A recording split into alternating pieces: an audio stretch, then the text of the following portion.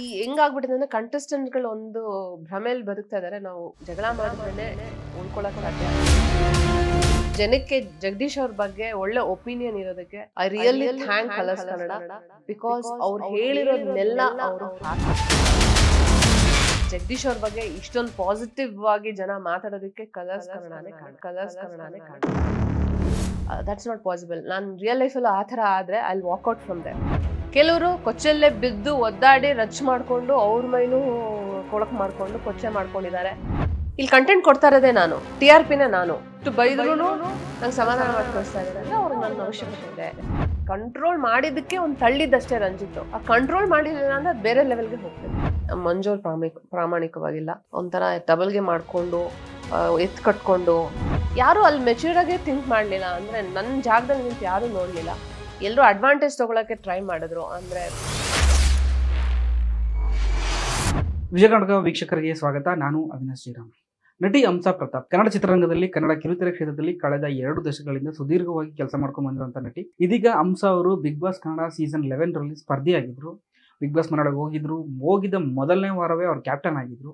ಆದರೆ ಇದೀಗ ನಾಲ್ಕೇ ವಾರಕ್ಕೆ ಬಿಗ್ ಬಾಸ್ ಆಟವನ್ನು ಕೊನೆಗೊಳಿಸಿ ಬಿಗ್ ಬಾಸ್ ಮನೆಯಿಂದ ಅವರು ಎಲಿಮಿನೇಟ್ ಆಗಿದ್ದಾರೆ. ಈ ನಾಲ್ಕು ವಾರಗಳ ಬಿಗ್ ಬಾಸ್ ಮನೆಯ ಜರ್ನಿಯಲ್ಲಿ ಅವರು ಯಾವ ರೀತಿ ಸವಾಲುಗಳನ್ನ ಎದುರಿಸಿದ್ರು ಜಗದೀಶ್ ಅವ್ರ ಜೊತೆ ಯಾವ ರೀತಿ ಅವ್ರಿಗೆ ಜಗಳಗಳಾಯಿತು ಒಟ್ಟಾರೆಯ ಬಿಗ್ ಬಾಸ್ ಮನೆಯ ಅನುಭವವನ್ನು ಇವತ್ತು ಅವ್ರ ಜೊತೆ ಡಿಸ್ಕಸ್ ಮಾಡೋಣ. ನಮ್ಮ ಜೊತೆ ಇವತ್ತು ಮಾತಾಡಲಿಕ್ಕೆ ಸ್ವತಃ ಹಂಸ ಅವರಿದ್ದಾರೆ ಹಂಸ ಅವರೇ ಕಾರ್ಯಕ್ರಮಕ್ಕೆ ಸ್ವಾಗತ. ಥ್ಯಾಂಕ್ ಯು ಸೊ ಹೇಗಿತ್ತು ಬಿಗ್ ಬಾಸ್? ಚೆನ್ನಾಗಿತ್ತು. ಒಂದು lifetime memory lifetime experience ಆಯಿತು ಬಿಗ್ ಬಾಸು. ತುಂಬ ಒಳ್ಳೆ ಎಕ್ಸ್ಪೀರಿಯನ್ಸು ಹಾಗೆ ತುಂಬ ಪಾಠಗಳನ್ನ ಕಲ್ತ್ವಿ. ಕಲ್ತೆ ಅಂತ ಹೇಳ್ಬೋದು. ಬಿಗ್ ಬಾಸ್ ಮನೆ ಒಳಗಡೆ ಹೋಗಿ. ಅಂದರೆ ನಾವು ರಿಯಲ್ ಲೈಫಲ್ಲಿ ಇರೋದಕ್ಕೂ ಬಿಗ್ ಬಾಸ್ನ ಹೊರಗಡೆಯಿಂದ ನೋಡೋದಕ್ಕೂ, ಒಳಗಡೆ ಹೋಗಿ ಅದನ್ನು ಎಕ್ಸ್ಪೀರಿಯನ್ಸ್ ಮಾಡೋದಕ್ಕೂ ತುಂಬ ವ್ಯತ್ಯಾಸ ಇತ್ತು. ನಾವು ರಿಯಲ್ ಲೈಫಲ್ಲಿ ತುಂಬ ಚಾಲೆಂಜಸ್ನ ಫೇಸ್ ಮಾಡಿರ್ತೀವಿ. ಬಟ್ ರಿಯಲ್ ಲೈಫ್ ಚಾಲೆಂಜಸ್ಸೇ ಬೇರೆ. ಅಲ್ಲಿ ಒಂದು ಚಾಲೆಂಜಸ್ಸೇ ಬೇರೆ ಆಗುತ್ತೆ. ಯಾಕಂದ್ರೆ ರಿಯಲ್ ಲೈಫಲ್ಲಿ ಈಗ ನಮ್ಮ ಒಬ್ಬರ ಹತ್ರ ಜಗಳ ಆಡಿದ್ರೆ ಒಬ್ಬರ ವ್ಯಕ್ತಿ ಜೊತೆ ನಾವು ಕಾನ್ವರ್ಸೇಷನ್ ಇರುತ್ತೆ, ಒಬ್ಬರ ವ್ಯಕ್ತಿ ಜೊತೆ ನಮ್ಮ ಮನಸ್ತಾಪ ಇರುತ್ತೆ, ಒಬ್ಬರ ವ್ಯಕ್ತಿ ಜೊತೆ ನಮ್ದು ಒಂದು, ಹಾ ಒಪಿನಿಯನು ಅಥವಾ ಏನೋ ಒಂದು ಇರುತ್ತೆ, ಜಗಳಗಳಿರುತ್ತೆ, ಮನಸ್ತಾಪಗಳಿರುತ್ತೆ ಬಟ್ ಬಿಗ್ ಬಾಸ್ ಮನೇಲಿ ಏನಾಗುತ್ತೆ ಅಂದ್ರೆ ಹದಿನೈದು, ಹದಿನಾರು ಜನ, ಹದಿನೇಳು ಜನ ಜೊತೆನೂ ನಾವು ಒಂದಲ್ಲ ಒಂದು ಟೈಮಲ್ಲಿ ಮನಸ್ತಾಪಗಳು ಸೃಷ್ಟಿ ಆಗುತ್ತೆ, ಜಗಳಗಳಾಗುತ್ತೆ ಸೊ ಎಲ್ಲ ಅಟ್ ಎ ಟೈಮ್ ಹ್ಯಾಂಡ್ಲ್ ಮಾಡೋದು ಇಟ್ಸ್ ಅ ಬಿಗ್ಗೆಸ್ಟ್ ಚಾಲೆಂಜ್ ಆಗುತ್ತೆ. ಅಂದರೆ ಒಬ್ರು ಅಷ್ಟು ಜನನ ಫೇಸ್ ಮಾಡೋದು ಆ, ಅಷ್ಟು ಸ್ಟ್ರೆಸ್ ಮಧ್ಯ ನಾವು ನಮ್ಮ ಸ್ಟ್ಯಾಂಡ್ನ ತಗೊಳ್ಳೋದು ನಾವು ನಾವಾಗೆ ಇರೋದು ಅಷ್ಟು ಜನಗಳ ಮಧ್ಯದಲ್ಲಿ ಅಷ್ಟು ಜನಗಳ ಹೇರೋ ಒಂದು ಭಾವನೆಗಳಲ್ಲಿ ನಾವು ಕಳೆದೋಗದೆ ನಾವಾಗ ನಾವೇ ಇರೋದು ಇಟ್ಸ್ ರಿಯಲಿ ಚಾಲೆಂಜ್ ಸೊ ಎಷ್ಟು ಒಂದು ನಾಲ್ಕು ವಾರ ಬಿಗ್ ಬಾಸ್ ಮನೆಯೊಳಗಿದ್ರಿ. ಸೊ ಯಾವುದೇ ರೀತಿ ಮೊಬೈಲ್ ಇಲ್ಲ ಏನಿಲ್ಲ ಹೊರಗಡೆ ಸಂಪರ್ಕ ಇಲ್ಲ. ಸೊ ಹೇಗೆ ಅನಿಸ್ತು ಹೊರಗೆ ಬಂದ ತಕ್ಷಣ? ಆಕ್ಚುಲಿ ಹೊರಗಡೆ ಮೊಬೈಲ್ ಇಲ್ಲದೆ ನಾವು ಒಂದು ಕ್ಷಣನೂ ಇರಲ್ಲ. ನಿಮಗೆ ಎಲ್ರಿಗೂ ಅದು ಎಕ್ಸ್ಪೀರಿಯನ್ಸ್ ಇದೆ. ಬೆಳಗ್ಗೆ ಎದ್ದ ತಕ್ಷಣ ನಾವು ನೋಡೋದೆ ಫಸ್ಟ್ ಮೊಬೈಲು ದೇವ್ರ ಮುಖ ನೋಡ್ತೀವೋ ಇಲ್ವೋ, ಅಪ್ಪ ಅಮ್ಮನ ಮುಖ ನೋಡ್ತೀವೋ ಇಲ್ವೋ ಫಸ್ಟ್ ಮೊಬೈಲ್ ನೋಡ್ತೀವಿ. ಟೈಮಿಂದ ಹಿಡಿದು ಏನು ಮೆಸೇಜ್ ಬಂದಿದೆಯಾ, ಏನು ಏನಿದೆ ಅಂತ ನೋಡ್ತೀವಿ. ಬಟ್ ಆ ಬಿಗ್ ಬಾಸ್ ಮನೇಲಿ ಫೋನ್ ಇಲ್ಲ ಕ್ಲಾಕ್ ಇಲ್ಲ, ಗಡಿಯಾರನೇ ಇಲ್ಲ. ಸೊ ಆ ಎಷ್ಟ್- ಎಷ್ಟೊತ್ತಾಗಿದೆ, ಎಷ್ಟೊತ್ತಿಗೆ ಎದ್ದಿದ್ದೀವಿ ಎಷ್ಟೊತ್ತಿಗೆ ತಿಂತಾ ಇದೀವಿ, ಎಷ್ಟೊತ್ತಿಗೆ ಮಲಗ್ತಾ ಇದೀವಿ ಅಂತ ಒಂದು ಅಂದಾಜೇ ಇಲ್ಲ. ಸೊ, ಆ ಥರ ಒಂದು ಲೈಫ್ ಸ್ಟೈಲ್ ನಾವು ಬಿಗ್ ಬಾಸ್ ಮನೆ ಒಳಗಡೆ ಲೀಡ್ ಮಾಡಿರೋದು. ಆ- ಥರದೊಂದು ಎಕ್ಸ್ಪೀರಿಯನ್ಸ್ ಮತ್ತೆ ಎಲ್ಲೂ ಬರಕ್ ಸಾಧ್ಯನೇ ಇಲ್ಲ. ನಾಲ್ಕು ವಾರ ಬರೀ ನಾಲ್ಕು ವಾರ ಇದ್ದೆ ಅನ್ನೋ ಒಂದು ಬೇಜಾರಿ, ಬೇಜಾರು ಒಂದ್ ಕಡೆ ಆದ್ರೆ ನಾಲ್ಕು ವಾರ ಅಟ್ಲೀಸ್ಟ್ ಇದ್ನಲ್ಲ, ಅಂದ್ರೆ, ಆ ಒಂದು ಬಿಗ್ ಬಾಸ್ ಮನೆ ಎಕ್ಸ್ಪೀರಿಯೆನ್ಸ್ನ ಪಡ್ಕೊಳ್ಳೋಕ್ಕೆ ನನಗೊಂದು ದೇವ್ರ ಅವಕಾಶ ಕೊಟ್ಟನಲ್ಲ ಅನ್ನೋ ಖುಷಿನೂ ಇದೆ. ಇನ್ನೂ ಇದ್ದಿದ್ರೆ ಚೆನ್ನಾಗಿರ್ತಿತ್ತು. ಅಂದರೆ ಇವಾಗ ಆ ಮನೆಗೆ, ಅಂದ್ರೆ ಒಂದ್ ಕಂಟೆಸ್ಟೆಂಟ್ಗೆ ಒಂದ್ ಎರಡ್ ಮೂರ್ ವಾರ ಆದ್ರೂ ಬೇಕಾಗತ್ತೆ. ಆ ಮನೆಯ ಆ ವಾತಾವರಣಕ್ಕೆ ಆ ಕಂಟೆಸ್ಟ್ ಆ ಒಂದು ಫಾರ್ಮ್ಯಾಟ್ಗೆ ಹೊಂದ್ಕೊಳ್ಳೋದಕ್ಕೆ ಅಡ್ಜಸ್ಟ್ ಆಗೋದಕ್ಕೆ. ಹೊಂದ್ಕೊಂತಾ ಇದ್ವಿ ಅಷ್ಟರಲ್ಲೇ ಎಲಿಮಿನೇಟ್ ಆಗಿದ್ದು ಒಂದ್ ಬೇಜಾರು. ಬಟ್ ಅಟ್ಲೀಸ್ಟ್ ಆ ಎಕ್ಸ್ಪೀರಿಯನ್ಸ್ ಅದು ಸಿಕ್ತು ಒಂದ್ ತಿಂಗಳು ಅನ್ನೋದು ಒಂದು ಖುಷಿನೂ ಇದೆ. ಸೊ ನಿಮ್ಗೆ ಈ ಬಿಗ್ ಬಾಸ್ ಆಫರ್ ಬಂದಿದ್ದ ಹೇಗೆ? ನಿಮ್ಗೆ ಫಸ್ಟ್ ಟೈಮ್ ಒಂದು ಆಫರ್ ಬಂದು ಬಿಗ್ ಬಾಸ್ ನೀವು ಬರಬೇಕು ಅಂತ ಕರೆದಾಗ. ನಿಮ್ಮ ರಿಯಾಕ್ಷನ್ಸ್ ಯಾವ ರೀತಿ?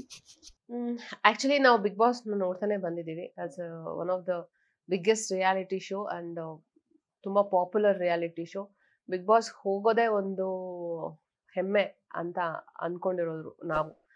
ಬಿಗ್ ಬಾಸ್ ಮನೆ ಒಳಗಡೆ ಅರ್ಹತೆ ಇಲ್ಲದೆ ಯಾರು ಹೋಗೋಕ್ಕೆ ಸಾಧ್ಯ ಇಲ್ಲ. ಸೊ ಅರ್ಹತೆ ಇರೋರೇ ಅಲ್ಲಿಗೆ ಹೋಗೋದು ಅಂದಾಗ, ನಮಗೆ ಬಿಗ್ ಬಾಸ್ ಕಡೆಯಿಂದ ಕಾಲ್ ಬಂದಾಗ, ಓ, ನಾವು ಏನೋ ಅಚೀವ್ ಮಾಡಿದ್ದೀವಿ ಲೈಫಲ್ಲಿ ಅಂತ ಅನಿಸುತ್ತೆ. ಯಾಕಂದರೆ ಟ್ವೆಂಟಿ ಪ್ಲಸ್ ಇಯರ್ಸ್ ಆಯಿತು ನಾನು ಇಂಡಸ್ಟ್ರಿಗೆ ಬಂದು. ಆ ಟ್ವೆಂಟಿ ಪ್ಲಸ್ ಇಯರ್ಸ್ ಎಕ್ಸ್ಪೀರಿಯೆನ್ಸೇ ಬೇರೆ ಬಿಗ್ ಬಾಸ್ ಅಲ್ಲಿ ಆಗಿದ್ದ ಎಕ್ಸ್ಪೀರಿಯೆನ್ಸೇ ಬೇರೆ. ಇಲ್ಲೇನಂದ್ರೆ ಒಂದು ಶೂಟಿಂಗ್ ಸೆಟ್ಟಿಗೆ ಹೋಗ್ತೀವಿ, ಅವರು ಕೊಡೋ ನ ಹೇಳ್ತೀವಿ, ಒಂದು ಪಾತ್ರವಾಗಿ ಅಲ್ಲಿ ನಾವ್ ಇರ್ತೀವಿ ಆಮೇಲೆ ನಮ್ಮ ನಮ್ ಪಾಡಿಗೆ ನಾವ್ ಇರ್ತೀವಿ ಅದ್ ಆಗುತ್ತೆ. ಬಟ್ ಬಿಗ್ ಬಾಸ್ ಮನೆಯಲ್ಲಿ ನಾವು, ನಾವಾಗೇ ಇರೋದೇ ಒಂದು ಚಾಲೆಂಜು ಬಿಗ್ ಬಾಸ್ಗೆ ಹೋದಾಗ ನಾನು ಅದೇ ಹೇಳ್ದೆ ಎಂಟ್ರಿ ತಗೊಂಡಾಗ್ಲೇ ನಾನು ಹೇಳ್ದೆ, ಇಪ್ಪತ್ತೈದು ವರ್ಷದಲ್ಲಿ ನನ್ಗೆ ಯಾವತ್ತೂ ನಾನು ಸೆಲೆಬ್ರಿಟಿ ಫೀಲ್ ಬಂದಿರಲಿಲ್ಲ. ಬಟ್ ಬಿಗ್ ಬಾಸ್ಗೆ ನಾನು ಸೆಲೆಕ್ಟ್ ಆದಾಗ ಬಿಗ್ ಬಾಸ್ ಅವರು ಪ್ರೋಟೋಕಾಲ್ಸ್ ಏನು ಫಾಲೋ ಮಾಡಿದ್ರು ಹೆಂಗೆ ಎಕ್ಸ್, ಎಸ್ಕಾಟ್ ಮಾಡಿದ್ರು, ಹೆಂಗೆ ನಮ್ಮನ್ನ ಪ್ರೊಟೆಕ್ಟ್ ಮಾಡ್ತಿದ್ರು ಅಂದ್ರೆ ಯಾರಿಗೂ Bigg Boss Bigg Boss contestants ಯಾರು ಅಂತ ರಿವೀಲ್ ಆಗ್ದಿರ ಯಾವ ಥರ ಸೀಕ್ರೆಟ್ ಮೇಂಟೈನ್ ಮಾಡಿದ್ರು, ಅದೆಲ್ಲ ನೋಡಿದಾಗ ನಮ್ಮ ಜೊತೆ ಎಸ್ಕಾಟ್ ಮಾಡೋರು ಇರ್ಬೋದು, ನಮ್ಮ ಒಬ್ಬರು ಅಸಿಸ್ಟೆಂಟ್ ಕೊಟ್ಟಿದ್ದಿರ್ಬೋದು, ನಮ್ಮನ್ನ ಸೇಫ್ ಗಾರ್ಡ್ ಮಾಡಿದ ರೀತಿ ಎಲ್ಲ ಆ ಒಂದು ಸೆಲೆಬ್ರಿಟಿ ಫೀಲ್ ಅಂತೂ ಖಂಡಿತ ಬಂತು. ಹೊರಗಡೆ ಬಂದ್ಮೇಲಂತೂ ಇನ್ನೂ ಆ ವೈಬ್ಸ್ ಹಾಗೆ ಇದೆ. ಅಂದ್ರೆ ಇಷ್ಟು ಚಾನಲ್ಗೆ ಇಷ್ಟು ಇಂಟರ್ವ್ಯೂ ನನ್ನ ಲೈಫಲ್ಲೇ ಕೊಟ್ಟಿರಲಿಲ್ಲ. ಇಪ್ಪತ್ ಟ್ವೆಂಟಿ ಫೈವ್ ಇಯರ್ಸ್ ಆಗಿದೆ ಅಂದ್ರೆ not not twenty five years twenty four years ಆಯ್ತು ನಾನು ಬಂದು. ಯಾವತ್ತು, ಯಾವ ಚಾನಲ್ ಅವರು ಬಂದು ಈ ರೀತಿ ನನಗೆ ಇಂಟರ್ವ್ಯೂ ಮಾಡಿದ್ದಿಲ್ಲ ಅಂದ್ರೆ ಎಷ್ಟು ಸಿನಿಮಾಗಳು ಮಾಡಿದ್ದೀನಿ ಸೀರಿಯಲ್ ಮಾಡಿದ್ದೀನಿ. ಬಟ್ ಯಾವತ್ತು ಈ ತರ ಒಂದು ಕ್ರೇಜು ಅಂದ್ರೆ ಇಂಟರ್ವ್ಯೂ ತಗೋಬೇಕು ಹಂಸ ಅಂತ ಇಷ್ಟು ಇಷ್ಟು ಚಾನಲ್ಸ್ಗೆ ನಾನು ಇಂಟರ್ವ್ಯೂ ಕೊಟ್ಟಿದ್ದು ಆಫ್ಟರ್ ಬಿಗ್ ಬಾಸೇ ಸೊ ಖಂಡಿತವಾಗ್ಲೂ ಇದೊಂದು, ನಾವು ಒಂದು ಅದೃಷ್ಟ ಅಂತಾನೆ ಹೇಳ್ಬೋದು. Bigg Boss is Bigg Boss ಒಂದ್ಸಲ ಮನೆ ಒಳಗಡೆ ಮಾನಸ ಅವ್ರು ಹೇಳಿರ್ತಾರೆ ನೀವು ಒಂದು ಐದಾರು ವಾರ ಇರ್ತೀರಾ ಅಷ್ಟೇ ಅನ್ನೋ ಒಂದು ಮಾತು ಬಂದಿರುತ್ತೆ. ಬಟ್ ನೀವು ಅದಕ್ಕೂ ಮುಂಚೆನೆ ಬಿಗ್ ಬಾಸ್ ಮನೆಯಿಂದ ಹೊರಗೆ ಬಂದ್ರಿ. ಸೊ ನಿಮ್ಗೆ ಏನ್ ಅನ್ಸುತ್ತೆ? ಅಂದ್ರೆ ಯಾವ ಪಾಯಿಂಟ್ಸ್ ನಂಗೆ ಮೈನಸ್ ಆಯ್ತು ಅಂತ ನಿಮ್ಗೆ ಅನ್ಸುತ್ತೆ ಪರ್ಸನಲ್ ಆಗಿ?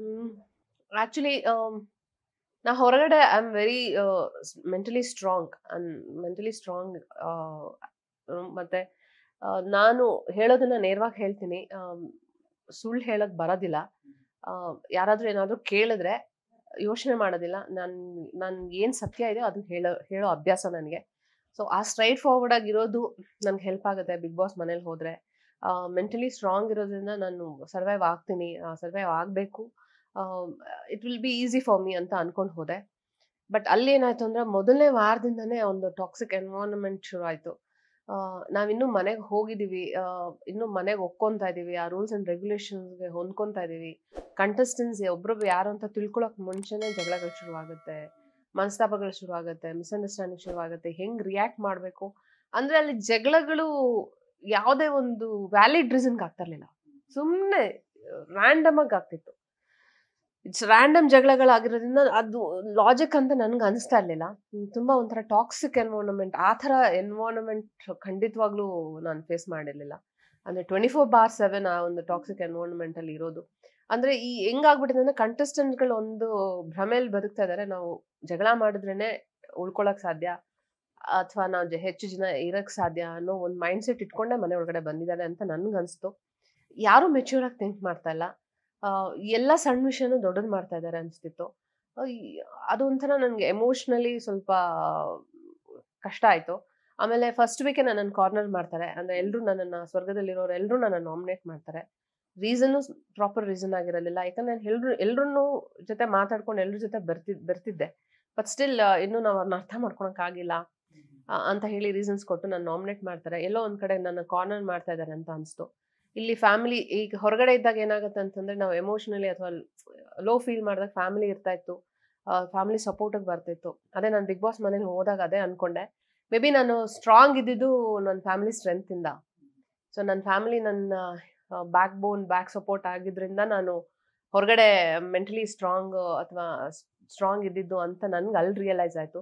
ವೆನ್ ನನಗೆ ನಾನು ಲೋ ಫೀಲ್ ಆದಾಗ ಅಥವಾ ಎಮೋಷನಲಿ ಬ್ರೇಕ್ ಡೌನ್ ಆದಾಗ ನನ್ಗೆ ಯಾರು ಸಪೋರ್ಟ್ ಮಾಡದೇ ಇದ್ದಾಗ ನನಗೆ ಮಾತ್, ಮಾತಿಗೆ ಮಾತಿಗೆ ಅಳು ಬರ್ತಿತ್ತು. ಅಂದ್ರೆ ಎಲ್ರು ಒಂದು ಹದಿನೈದು ಜನನು, ನಿನ್ ತಪ್ಪು ನಿಂದಿದು ನಿನ್ ಸರಿ ಇಲ್ಲ, ನಿನ್ ವೀಕು ಆ ಥರ ಒಂದು ಹ್ಯೂಮಿಲೇಟ್ ಮಾಡೋಂಥ ಸಿಚುವೇಶನ್ಸ್ ತುಂಬಾನೇ ಬಂತು. ಹ್ಯುಮಿಲೇಟ್ ಮಾಡ್ತಿದ್ರು ಕೂಡ. ಸೊ ಹಂಗಾಗಿ ಸ್ವಲ್ಪ ಕಷ್ಟ ಆಯ್ತು. ಹ್ಮ್ ಫಸ್ಟ್ ಮೊದಲು ಒಂದೆರಡು ವಾರಗಳು. ಫಸ್ಟ್ ವಾರ ಕಾರ್ನರ್ ಮಾಡಿ ನಾಮಿನೇಟ್ ಮಾಡಿದ್ದು ಆ ಒಂದು ಮೆಂಟಲ್ ಸ್ಟ್ರೆಸ್ಲಿದ್ದೆ ಅಗೇನ್ ಸೆಕೆಂಡ್ ವೀಕಲ್ಲೇ ನಾನು ಕ್ಯಾಪ್ಟನ್ ಕ್ಯಾಪ್ಟನ್ ಆಗ್ತೀನಿ. ಕ್ಯಾಪ್ಟನ್ ಆಗಿದ್ದನ್ನ ಯಾರು ಅದನ್ನ ಸ್ಪೋರ್ಟಿವ್ ಆಗಿ ತಗೊಳ್ಲಿಲ್ಲ ಎಲ್ಲರೂ ನನ್ನನ್ನ ಒಂಥರ ಟಾರ್ಗೆಟ್ ಮಾಡಕ್ ಶುರು ಮಾಡಿದ್ರು. ಸ್ವರ್ಗದವರು ನರ್ಕದವರು ಹಾ ಎಲ್ರು ಒಂದಾಗಿ ನಾನು ಟಾರ್ಗೆಟ್ ನಾನು ಒಬ್ಳೆ ಆಗ್ಬಿಟ್ಟೆ. ಸೊ ಅದು ಸಿಕ್ಕಾಪಟ್ಟೆ ನನ್ಗೆ ಇನ್ನೂ ಪ್ರೆಷರ್ ಹಾಕಕ್ ಶುರುವಾಯ್ತು. ಆಮೇಲೆ ತುಂಬಾ ಟಾಸ್ಕ್ಗಳು ನನ್ನ ಕ್ಯಾಪ್ಟನ್ಸಿಲೇ ಆಗಿದ್ದು. ನರ್ಕಾಸ್ವರ್ಗ ಅಂತ ಕಾನ್ಸೆಪ್ಟು ನನ್ನ ನನ್ನ ಕ್ಯಾಪ್ಟನ್ಸಿಲೇ ಇತ್ತು. ಅದು ಚಾಲೆಂಜಿಂಗ್ ಆಗಿತ್ತು. ಯಾಕಂದ್ರೆ ನರ್ಕಾಸ್ವರ್ಗ ಅಂತ ಬಂದಾಗ ಕೆಲವೊಂದು ರೂಲ್ಸ್ ಅಂಡ್ ರೆಗ್ಯುಲೇಷನ್ಸ್ ಈ ಸೀಸನ್ ಅಲ್ಲಿ ಇಂಪ್ಲಿಮೆಂಟ್ ಆಗಿತ್ತು. ಅದನ್ನ ಕಂಟೆಸ್ಟೆಂಟ್ಸ್ಗಳು ಸರಿಯಾಗಿ ಅರ್ಥ ಮಾಡ್ಕೊಂಡಿರ್ಲಿಲ್ಲ. ಅವ್ರು ಕನ್ಫ್ಯೂಸ್ ಆಗಿದ್ರು, ಅದನ್ನ ನನಗೂ ಕನ್ಫ್ಯೂಸ್ ಮಾಡ, ಆಗೋ ತರ ಮಾಡಿದ್ರು. ಅಂದ್ರೆ ಅವರೇ ಕನ್ಫ್ಯೂಸ್ ಅಲ್ಲಿ ಇದು ಮಾಡ್ಬೋದಲ್ಲ, ಹಂಗ್ ಮಾಡ್ಬೋದಲ್ಲ, ಹಿಂಗ್ ಮಾಡ್ಬೋದಲ್ಲ, ಈ ತರ ಮಾಡ್ಬೋದಲ್ಲ ಅಂತ ಹೇಳಿದ್ರು ಒಪ್ಕೊಳ್ಳೋ ಸ್ಥಿತಿಯಲ್ಲೂ ಇರಲಿಲ್ಲ. ಯಾಕೆ ಹಿಂಗಾಗುತ್ತೆ ಅದೇನು ಹೇಳಿಲ್ವಲ್ಲ ಬಿಗ್ ಬಾಸ್ ಈ ತರ ಮಾಡಿಲ್ವಲ್ಲ ಅನ್ನೋದು ಕನ್ಫ್ಯೂಸ್ ಮಾಡೋದು ಯಾರು ಕೋಆಪ್ರೇಟ್ ಮಾಡಲಿಲ್ಲ ನನಗೆ. ನರ್ಕಾಸ್ವರ್ಗ ಅಂತ ಒಂದು, ಅದೊಂದು ಚಾಲೆಂಜ್ ಆಗಿತ್ತು. ಅದಾದ್ಮೇಲೆ ನನ್ನ ಕ್ಯಾಪ್ಟನ್ಸಿಲಿ ತುಂಬಾ ಟಾಸ್ಕ್ಗಳಾಯ್ತು ಈಗ ಶಿಶಿರ್ ಕ್ಯಾಪ್ಟನ್ಸಿಲಿ ಹಾರ್ಡ್ಲಿ ಟಾಸ್ಕೇ ಇರಲಿಲ್ಲ. ಆ, ಬರೀ ಜಗಳ ಅದು ಅಷ್ಟೇ ಇತ್ತು. ಇನ್ನ ಐಶ್ವರ್ಯ ಮತ್ತೆ ತ್ರಿವಿಕ್ರಮ್ ಅಲ್ಲಿ ಟಾಸ್ಕ್ಗಳೇನು ಫಿಸಿಕಲ್ ಟಾಸ್ಕ್ ಒಂದೇ ಏನೋ ಫಿಸಿಕಲ್ ಟಾಸ್ಕ್ ಇತ್ತು. ಅದನ್ನು ರದ್ದು ಮಾಡಿದ್ರು ಬಿಕಾಸ್ ಇಂಜುರ ಕೆಲವ್ರಿಗೆ ಇಂಜುರಿಯಸ್ ಆಯ್ತು ಅಂತ ಹೇಳಿ ಅದನ್ನು ರದ್ದು ಮಾಡಿದ್ರು. ಸೊ ಅವ್ರಿಗೂ, ಅವರು ಏನಂತ ಚಾಲೆಂಜಸ್ ಫೇಸ್ ಮಾಡಲಿಲ್ಲ. ಏನು ಪೊಲಿಟಿಕಲ್ ಪಾರ್ಟಿ ಅಂತ ಮಾಡಿ ಡಿವೈಡ್ ಅವ್ರದೇ ಆದ ಗ್ರೂಪ್ಗಳು ಮಾಡ್ಕೊಂಡ್ರು. ಸೊ ಇಬ್ರು ಕ್ಯಾಪ್ಟನ್ನು ಒಂದು ಮನೆನ ನಡೆಸೋ ತರ ಇರ್ಲಿಲ್ಲ. ಒಂದು ಗ್ರೂಪ್ನ ನಡ್ಸ್ಕೊಂಡು ಹೋಗೋದು. ಹಾ ಸಪ್ರೇಟ್ ಗ್ರೂಪ್ ತರ ನಡ್ಸ್ಕೊಂಡು ಹೋಗುವಂತದ್ದಾಯ್ತು ಸೊ ಅಲ್ಲಿ ಅವ್ರಿಗೇನು ಚಾಲೆಂಜ್ ಆಗಿಲ್ಲ. ನನ್ನ ಕ್ಯಾಪ್ಟನ್ಸಿಲಿ ಫಸ್ಟ್ ವಾರ ಕ್ಯಾಪ್ಟನ್ಸಿ ಆಗಿದ್ದೊಂದು ಒಂದೇ ಚ ಅದೊಂದು ಚಾಲೆಂಜ್ ಆದ್ರೆ ನರಕಾಸ್ ನರಕಾಸ್ವರ್ಗ ಎರಡು ಸಪ್ರೇಟ್ ಇದ್ವು. ಟಾಸ್ಕ್ಗಳು ಎರಡು ಬ್ಯಾಲೆನ್ಸ್ ಮಾಡ್ಬೇಕಿತ್ತು, ಟಾಸ್ಕ್ಗಳಾಗ್ಬೇಕಿತ್ತು. ಸ್ವರ್ಗದವ್ರಿಗೆ ಟಾಸ್ಕಲ್ ಗೆದ್ದು ರಿಸಲ್ಟ್ ಹೇಳಿದ್ರೆ ನರ್ಕದವ್ರಿಗೆ ಬೇಜಾರಾಗ್ತಿತ್ತು, ನರ್ಕದವ್ರಿಗೆ ಹೇಳಿದ್ರೆ ಸ್ವರ್ಗದವ್ರಿಗೆ ಬೇಜಾರಾಗ್ತಿತ್ತು. ನಾನು ಇವ್ರಿಗೆ ಪಾರ್ಶಾಲಿಟಿ ಮಾಡ್ತಾ ಇದ್ದೀನಿ ಅಂತ ಅವ್ರಿಗೆ ಅನ್ಸಿತ್ತು, ಅವ್ರಿಗೆ ಪಾರ್ಶಾಲಿಟಿ ಮಾಡ್ತೀನಿ ಅಂತ ನನ್ಗೆ ಅವ್ರಿಗೆ ಅನ್ಸ್, ಯಾರು ಅಲ್ಲಿ ಮೆಚ್ಯೂರ್ ಆಗಿ ಥಿಂಕ್ ಮಾಡ್ಲಿಲ್ಲ. ಅಂದ್ರೆ ನನ್ನ ಜಾಗದಲ್ಲಿ ನಿಂತು ಯಾರು ನೋಡ್ಲಿಲ್ಲ. ಎಲ್ಲರೂ ಅಡ್ವಾಂಟೇಜ್ ತೊಗೊಳಕ್ಕೆ ಟ್ರೈ ಮಾಡಿದ್ರು. ಅಂದ್ರೆ ಇವ್ರಿಗೆ ಜೋರ್ ಜೋರ ಮಾತಾಡ್ಬಿಟ್ರೆ ಇವ್ರು ಮಾತಾಡಲ್ಲ. ಅಂತ ಸುಮ್ಮನೆ ಮ್ಯಾನಿಪುಲೇಟ್ ಮಾಡೋದಕ್ಕೆ ತುಂಬಾ ಟ್ರೈ ಮಾಡಿದ್ರು. ಅದೇ ಒಬ್ರಿಗೆ ಒಳ್ಳೇದ್ ಮಾಡಕ್ ಹೋಗಿ ನಾವೇ ಸಿಕ್ಕಾಕೊಂಡು ಓದಾಡೋ ತರ ಸಿಚುವೇಶನ್ಸ್ ನನ್ಗಾಯ್ತು ಅಲ್ಲಿ. ಸೊ ನನ್ನ ಪ್ರಶ್ನೆ ಅದೇ ಆಗಿತ್ತು ಅಂದ್ರೆ ಈಗ ಬಿಗ್ ಬಾಸ್ ಮೇಲೆ ಹೋದಾಗ ಸುಮಾರು ಜನ ಹದಿನೇಳು ಜನ ಹೋದಾಗ ಅದ್ರಲ್ಲಿ ಆಡಿಯನ್ಸ್ಗೆ ತುಂಬಾ ಗೊತ್ತಿರುವಂತ ಕೆಲವೇ ಕೆಲವರಲ್ಲಿ ನೀವು ಒಬ್ಬರಾಗಿತ್ತು ಅಂದ್ರೆ ಧಾರಾವಾಹಿಗಳು ಮಾಡಿದಂತ ಸಿನಿಮಾಗಳು ನೋಡೋದು ನೀವು ಪರಿಚಯ ಇದ್ರಿ. ಸೊ ನಿಮ್ಮ ಮೇಲೆ ನಿರೀಕ್ಷೆ ಸಹಜವಾಗಿ ಜಾಸ್ತಿನೇ ಇತ್ತು. ಬಟ್ ಅದಲ್ಲೇ ಮೊದಲನೇ ವಾರದಲ್ಲಿ ಯಾಕೆ ನೀವು ಡಲ್ ಆಗಿದ್ರಿ ಅನ್ನೋದಕ್ಕೆ ನೀವು ಆಲ್ರೆಡಿ ರೀಸನ್ ಕೊಟ್ರಿ. ಸೊ ನೀವು ಹೇಳ್ತಾ ಇದ್ರೆ ತುಂಬಾ ಜಗಳಗಳು ನಡೀತಾ ಇತ್ತು ಅಂತ. ಸೊ ನಮಗೆಲ್ಲ ಒಂದೂವರೆ ಗಂಟೆ ಅಷ್ಟೇ ಟೆಲಿಕಾಸ್ಟ್ ಆಗೋದ್ರಿಂದ ನಮ್ಗೆ ಅಷ್ಟರಲ್ಲೇ ಕೆಲವೊಂದ್ಸಲ ಏನಪ್ಪ ಇಷ್ಟು ಜಗಳ ಆಡ್ತಾರೆ ಅನ್ನೋ ಫೀಲ್ ಆಗ್ತಾ ಇತ್ತು. ಬಟ್ ನೀವು ಟ್ವೆಂಟಿ ಫೋರ್ ಇಂಟು ಸೆವೆನ್ ಜಗಳಗಳು ನೋಡ್ತಾ ಇದ್ರಲ್ಲ ಸೊ ಹೇಗಂದ್ರೆ ಯಾವ ತರ ಇರ್ತಿತ್ತು ಮನೆ ಈಗ ಈಗ ಒಂದ್ ಮನೇಲಿ ಅಪ್ಪ ಅಮ್ಮ ಜಗಳ ಆಡ್ತಾ ಇದ್ರೆ ಮಗು ಮೇಲೆ ಎಷ್ಟು ಪ್ರಭಾವ ಬೀರುತ್ತೆ? ಆ ಈಗ ನಂದು ನನ್ ಮೇಲೆ ಅವ್ರ ಜಗಳ ಆಡದೆ ಇರ್ಬೋದು ಬಟ್ ಬೇರೆ ಬೇರೆಯವರು ಬೇರೆ ವಿಷಯಕ್ಕೆ ಆ ಜಗಳ ಆಡ್ತಾ ಇದ್ರು ಆ ಮನೆ ವಾತಾವರಣ ಎಂತ ಟಾಕ್ಸಿಕ್ ಆಗಿತ್ತು ಆ- ಆ ತರ ಒಂದು ಸಿಚುವೇಶನ್ ಇತ್ತು. ಅಂದ್ರೆ ಏನಪ್ಪ ಇದು ಎಲ್ಲಿ ಬಂದಿದೀವಿ ಏನ್ ಆಗ್ತಿದೆ ಏನ್ ರಿಯಾಕ್ಟ್ ಮಾಡಿದ್ರೆ ಏನು? ಅದಕ್ಕೆ ಒಂದ್ ಜಗಳ ಆಗುತ್ತೇನೋ? ಈಗ ಏನೋ ಒಂದ್ ಅಂದ್ರೆ ಈಗ ಆಲ್ರೆಡಿ ಹತ್ಕೊಂಡು ಉರಿತಾ ಇದೆ. ಇನ್ ಇದನ್ ಬೇರೆ ಮಾತಾಡಿ ಇನ್ನೂ ಜಗಳ ಹೆಚ್ಚು ಮಾಡೋದ್ ಬೇಡ ಅನ್ನೋ ಒಂದು ಆ, ಸ್ಥಿತಿ ಬಂದ್ಬಿಟ್ಟಿದ್ವಿ ಅಂದ್ರೆ ಆಯ್ತು ಹೋಗ್ಲಿ ಬಿಡು ಬಿಟ್ಟು ಹಾಕೋಣ. ಅವ್ರೇನೋ ಸುಮ್ಮನೆ ಮಾತಾಡ್ತಾರೆ ಅಂದ್ರೆ ನಾವ್ ಯಾಕೆ ಮಾತಾಡ್ಬೇಕು? ಆಕ್ಚುಲಿ ಜನ ಅನ್ಕೊಂಡಿದ್ದು ನಾನು ನೆಗೆಟಿವ್ ರೋಲ್ಸ್ ಮಾಡೋದ್ರಿಂದ ನಾನು ತುಂಬಾ ಜೋಡಿದ್ದೀನಿ ಅಲ್ಲಿ ಹೋದ್ರು ನಾನು ಸಿಕ್ಕಾಪಡೆ ಜಗಳ ಮಾಡ್ತೀನಿ ಅಂತ. ಸಿ ನನ್ ಹೊರಗಡೆ ಲೈಫಲ್ಲಿ ಏನಾದ್ರು ನಂಗೆ ತಪ್ಪು ಅಂತ ಅನ್ಸ್ದಾಗ ಹೇಳಿದ್ದೀನಿ. ಬಟ್ ಆ ಲೆವೆಲ್ ಇಳಿದು ಜಗಳ ಮಾಡಕ್ ನನ್ನ ಕೈಲಿ ಸಾಧ್ಯ ಆಗ್ಲಿಲ್ಲ. ಅಂದ್ರೆ ಅನ್ನೆಸೆಸರಿಯಾಗಿ ಫಿಲ್ತಿ ಲ್ಯಾಂಗ್ವೇಜಸ್ನ ಯೂಸ್ ಮಾಡ್ಕೊಂಡು ಒಂದು ತುಂಬಾ ಲೋ ಹಾ ಜಗಳ ಮಾಡಬೇಕು ಅಂತಾನೆ ಮಾಡಿಕೊಂಡು ರೀಸನ್ನೇ ಇಲ್ಲದೆ ಲೋ ಲೆವೆಲಲ್ಲಿ ಜಗಳ ಮಾಡೋದಿದೆಯಲ್ಲ ದಟ್ಸ್ ನಾಟ್ ಪಾಸಿಬಲ್ ನಾನು ರಿಯಲ್ ಲೈಫಲ್ಲಿ ಆ ಥರ ಆದ್ರೆ ಐ ವಾಕ್ಔಟ್ ಫ್ರಮ್ ದೇರ್ ಅಷ್ಟೇ ಹೊರತು ಆ ಅದರಲ್ಲೇ ಕೊಚ್ಚೆಲ್ಲೇ ಬಿದ್ದು ಒದ್ದಾಡೋಂಥ ವ್ಯಕ್ತಿತ್ವ ನಂದಲ್ಲ. ಕೊಚ್ಚೆ ಅಂದ್ರೆ ದಾಟ್ಕೊಂಡು ಹೋಗ್ತೀನಿ. ಅಥವಾ ಸೈಡಿಗೆ ಹೋಗ್ತೀನಿ. ಹಂಗಂತ ನನಗೆ ಕೊಚ್ಚೆ, ಏನು ಅದಕ್ಕೆ ಹೆದರ್ಕೊಂಡು ಹೋದೆ ಅಂತಲ್ಲ.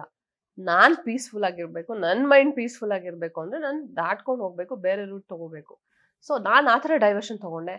ಕೆಲವರು ಕೊಚ್ಚೆಲ್ಲೇ ಬಿದ್ದು ಒದ್ದಾಡಿ ರಚ್ ಮಾಡ್ಕೊಂಡು ಅವ್ರ ಮೈನು ಕೊಳಕ್ ಮಾಡ್ಕೊಂಡು ಕೊಚ್ಚೆ ಮಾಡ್ಕೊಂಡಿದ್ದಾರೆ. ಅದರಿಂದ ಜನಕ್ಕೂ ಬೇಜಾರಾಗಿದೆ. ಅಂದ್ರೆ ಅವ್ರು ಮಾತಾಡ್ತಾರೆ ಅಂತ ಇವರು ಮಾತಾಡಿದ್ದಾರೆ. ಇವ್ರೇನ್ ಸರಿಗಿದಾರ ಅನ್ನೋ ತರ ಆಗಿದೆ. ಅವ್ರು ಕೆಟ್ಟ ಲ್ಯಾಂಗ್ವೇಜಸ್ ಯೂಸ್ ಮಾಡಿದ್ದಾರೆ, ಇವ್ರು ಕೆಟ್ಟ ಲ್ಯಾಂಗ್ವೇಜಸ್ ಯೂಸ್ ಮಾಡಿದ್ದಾರೆ. ಸೊ ಅವ್ರಿಗೂ ನಮ್ಗೆ ಏನು ಡಿಫ್ರೆನ್ಸ್ ಆಯ್ತು ಅಲ್ಲಿಗೆ? ಏನು ಡಿಫ್ರೆನ್ಸ್ ಆಗಿಲ್ಲ. ನಾನು ಅದೇ ನನ್ನ ಟಾಸ್ಕಲ್ಲಿ ಕೆಲವೊಂದು ಫೌಲ್ಸ್ ಎಲ್ಲ ಆದಾಗ ಎಗರಾಡಿದ್ರು ನನ್ನ ಮೇಲೆ. ನಾನು ಹೇಳೋದು ವಿಷಯ ಹೇಳ್ಬಿಟ್ಟು ಸುಮ್ಮನೆ ನಿಂತಿದ್ದೆ. ಎಷ್ಟು ಮಾತಾಡಿದ್ರು ಕೊನೆಗೆ ರೀಚ್ ಆಗೋದು ಅಲ್ಲೇ ತಾನೆ ಅದು. ನಾನು ಡಿಸಿಷನ್ ಕೊಟ್ಟಾಯ್ತು. ನೀವು ಹಂಗ್ ಮಾಡ್ಬಾರ್ದು ಹಿಂಗೆ ಮಾಡ್ಬಾರ್ದು ಆಯ್ತು ಇವಾಗ ನಾನು ರಿವರ್ಸ್ ಅಂತೂ ಮಾಡೋಕ್ಕಾಗಲ್ಲ ಅದನ್ನ. ಸೊ ಏನ್ ನೀವು ನಾಮಿನೇಟ್ ಆಗ್ಬಿಟ್ಟಿದ್ದೀರಾ ಅಂತ ಹೆದರ್ಕೊಂತ ಇದ್ದೀರಾ? ಸರಿ ಬಿಡಿ, ನೀವು ನಾಮಿನೇಟ್ ಆಗಿದ್ದೀರಾ ಅಂದ್ರೆ ನಾನೇ ನಾನೇ ನರ್ಕಕ್ಕೆ ಹೋಗ್ತೀನಿ ಅಂತ ಕೂಡ ಹೇಳ್ದೆ ನಾನು. ಅಷ್ಟು ಹೆದರ್ಕೆನಾ? ನಾನು ನರ್ಕಕ್ಕೆ ಹೋಗ್ಬಿಟ್ಟು ಹೋಗ್ಬೇಕಾಗತ್ತಲ್ಲ? ಅಥವಾ ನಾನು ನಾಮಿನೇಟ್ ಆಗ್ಬಿಟ್ಟಿದ್ದೀನಲ್ಲ? ಸಿ, ನೀವ್ ಹೆಂಗ್ ಆಡ್ತಾ ಇದೀರ ಅಂತ ನಿಮಗೆ ಕಾನ್ಫಿಡೆನ್ಸ್ ಇದ್ರೆ ನಾಮಿನೇಷನ್ ಆಗಿರೋದ್ರ ಬಗ್ಗೆ ಯಾಕೆ ಯೋಚನೆ ಮಾಡ್ತೀರಾ? ಹಾ ನಮ್ಮೇಲೆ ನಮ್ಗೆ ಕಾನ್ಫಿಡೆನ್ಸ್ ಇಲ್ಲ. ನಾಮಿನೇಟ್ ಮಾಡಿದ ತಕ್ಷಣ ಶುರು ಮಾಡ್ತಾರೆ ಜಗಳ.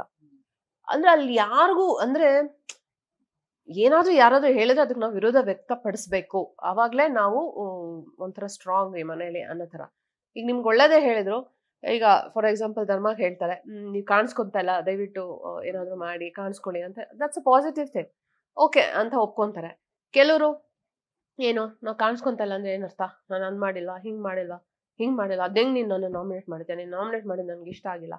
ಆ ಥರ. ಅಂದ್ರೆ ಎಲ್ ಕ್ಷುಲ್ಲಕ ಕಾರಣಕ್ಕೆ ತುಂಬಾ ಜಗಳಗಳಾಗ್ತಿತ್ತು ಅಂತ ನನ್ಗೆ ಅನ್ಸುತ್ತೆ ಅಂದ್ರೆ ಅಲ್ಲಿ ಬಹುತೇಕರಿಗೆ ಬಿಗ್ ಬಾಸ್ ಹಿಂಗ್ ವರ್ಕ್ ಆಗುತ್ತೆ ಅನ್ನೋದ್ರ ಬಗ್ಗೆ ಐಡಿಯಾ ಏನಿಲ್ಲ ಅಂತ ನಾನು ಅದೇ ಹೇಳ್ತಾ ಇದ್ದೆ.